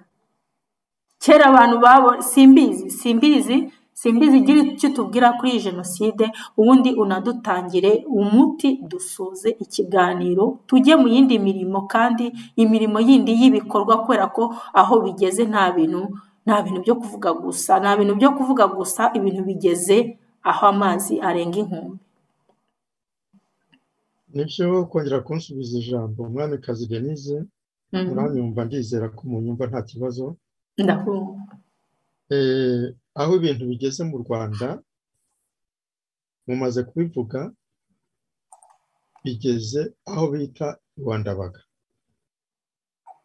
Njye bambwiye ukuntu abaturage babayeho mwibuke ko n'aya mazi yo kuri kano umuturage atemerewe kuyavoma. Agomba kujya kuyagura. Cyangwa akaba yaracukuye akantu ahantu hihereye amazi azarekera akaba ariyo ajya kuvoma. Umuturage baramukamura atanga imisoro atanga mbese amafaranga bamwaka bariya abantu bose bariya abategetsi bose nta kindi kibatunze usibye amafaranga agomba kuva mu muturage kandi umuturage udafite aho ahinga umuturage nawe urimo kwicwa n'inzara umuturage udafite epfo na ruguru ariko akaba ari we ugomba gutunga abo bategetsi bariho mu rwanda bose. Birasaba rero ko abantu rwose dushyira mu gaciro abantu bari hanze dufite solisiyo ebyiri. Gushyira hamwe ibintu by'amoko bakabishyira iruhande ibintu by'amashyaka. Uzi ko ngo na za emuderi zagarutse za emerenite zagarutse za sederi zagarutse? Urumva fpr yo ikoresha ingufu zose kugira ngo izagume kuri buriya butegetsi. Ubwo mu kanya ndaza no gusaba ikiganiro nitugera mu gikari cyo kugira ngo nzayivugeho mu minsi iri imbere. Icyo rero nsaba abantu bo hanze ni ukureka ibyo bintu byose kiganduga bakabireka ibyo bintu byose byose by'amashyaka bakabireka bakavuga bati tugiye kubohora abanyarwanda. Ariko kubera ko twe turi hanze ntabwo dushobora kujyayo. Duteranye amafaranga tuyahe umuntu witwa matata Yosefu yashyizeho ikigega. Ibi ndi mu kuvuga ntabwo namuteguje ndimo kuvuga kuko nabitekerejeho gusa. Amafaranga yo kuzafasha abanyarwanda byibuze dufite bashobora kuzaba hagati y'ibihumbi icumi na mirongo itanu bajya kuvanaho buriya butegetsi. Mu myigaragambyo muri revolisiyo ntabwo umuntu azajya muri revolisiyo atariye ayo mafaranga yakora iki rero? Nayo gushobora kubagurira umugati umwe buri muntu umuntu wagiye mu myigaragambyo akaba yashobora kuza kubona umugati w'ero rimwe abantu bari imbere mu gihugu ni ukubasaba gukomeza kwishyira hamwe. Nzi yuko birimo gukorwa barimo kwishyira hamwe kugira ngo ifirimbi izabere umunsi umwe. Ndagira ngo nshimire abantu b'abaryankuna barakora cyane kandi barakora akazi keza. Ndagira ngo nshimire bariya bafite amashyaka imbere mu gihugu bose hamwe barimo umwamikazi witwara ingabire barimo ntaganda barimo uriya musore sinibuka izina rye mushyashya w'umujene bariya bose bafite amashyaka akora mbese bavugira abanyarwanda n'abanyamakuru nabo ndabazi barahari bose bakomeze bishyire hamwe kugira ngo ifirimbi izabere umunsi umwe. Umwami rero muhanze twishyire hamwe kugira ngo dushobore kuzafasha abo bantu bazaba bagiye mu myigaragambyo kugira ngo bashobore kubona ikibatunga kuko umuntu atajya mu myigaragambyo revolisiyo ishobora kumara. Byibuze ukwezi kumwe niko bagomba guteganya wenda niba bahagurutse ubwo n'ubufasha buzarushaho kwiyongera. Sinzi niba wareka naba ndacyabona ko wenda reka dukomereze mu gikari. Iminota iradushiranye. Sitidiyo y'akanyarwanda ikeneye inkunga ishoboka kugira ngo iduhe igihe gihagije cyo kwisanzura. Banyarwanda abanyarwandakazi basangirangendo uyu munsi twaba turi muri cya kiganiro. Ikiganiro kivuga tuti reka twibohoze inzara y'akarande. Twibohoze jenoside y'inzara itubogamiye. Mwabonye ibiciro biri ku isoko. Ibirayi umuceri ibiki byose. Ibiryo udashobora kwirebera kwigurira kwigondera. Ni ukuvuga ngo ni u rwanda rwanda rwa kanyarwanda dusigaje kuzajya tureba kuri televiziyo. Tukibaza tuti se aha hari iwacu? Twarahingaga twabagaho gute? Abanyarwanda bari mu rwanda barananiwe. Barananiwe ku buryo batagishoboye no guhembwa ngo bakoreshe amafaranga bahembwe. Ariko nanone bari kudutuma ariko banyarwanda abasangirangendo turi kumwe hano batubwiye bati muhaguruke mwirwaneho. Muhaguruke mwirwaneho ni wowe inzara yica ni wowe ubura icyuho umwana ni wowe basukira amazi ku isahani umwana wamuhaye amafaranga batanze amafaranga. Ibiciro ni byinshi muze musubire mu kiganiro mubirebe. Ibiciro tutababwiye mutwoherereze mukomeze mutwohereze amakuru igihe tugishoboye kuyibavugira. Ariko buri munyarwanda ahaguruke yirwaneho akimuha n'akazi imvura ihise kandi ngo baravuga ngo umugabo arigira yakwibura agapfa. Icyo dushoboye tuzakibakorera ariko namwe mushyireho akanyu ntacyo ubutegetsi bw'agatsiko butaberetse. Nta hantu butaberetse ariko ibintu byo kurira bigomba guhagarara. Ibintu byo kugomba kurira bigomba guhagarara mukishakamo ibisubizo. Ibisubizo umujinya mwiza ubageza ku mahoro nyayo. Twavuze tuti umwamikazi damange yashatse kutubohoza nyabyo. Yashatse kutubohoza nyabyo aritanga agera n'aho ari mu munyururu. None ari mu munyururu kubera abanyarwanda turaboshye turaboshye kubohoza idamange nyabyo ni wowe munyarwanda njyewe nawe twese. Icyo nshoboye icyo ushoboye tukabohoza abanyarwanda tukabohoza u rwanda rwatubyaye. Umubyeyi akongera akabyara umuhinzi akongera agahinga ucuruza akongera agacuruza ukora akazi ko mubiri akongera akagakora. Maze abanyarwanda bakabaho mu buryo butandukanye ariko burimo umutekano n'amahoro. Amahoro yo mu gifu amahoro yo mu mutwe amahoro yo kuvuga y'ubwisanzure byose birakenewe. Rero ararekwa ntashira nabasezeye mbifuriza amahoro y'imana. Ndabashimiye umwami rugomboka twabanye muri iki kiganiro. Ndagushimiye mwami gasito twabanye muri iki kiganiro. Ndabashimiye mwami firimani ibikorwa singira nkabo kuri iyi saro ya kanyarwanda mwaduhaye mwaduhereye ubuntu. Ndabashimiye abari ku buhanga bw'ibyuma abo twafatanyije muri chat kuri zoom no ku zindi mbuga nkoranyambaga ndabashimiye mbikuye ku mutima. Ararekwa ntashira navuga nti haguma ubuzima. Ejo nibidukundira turongera dusubiremo ariko u rwanda rwacu rwaragurishijwe u rwanda rwarabohojwe ariko nta gikundiro cy'abanyarwanda buriya butegetsi bufite. Rero ni ahanyu ni ahanjye ni ahacu twese hamwe tugomba kugera ku gihugu twifuza. Murakoze ni aho ubutaha. Yari ngewe denise mikanya kuri sitidiyo umutware ni ahejo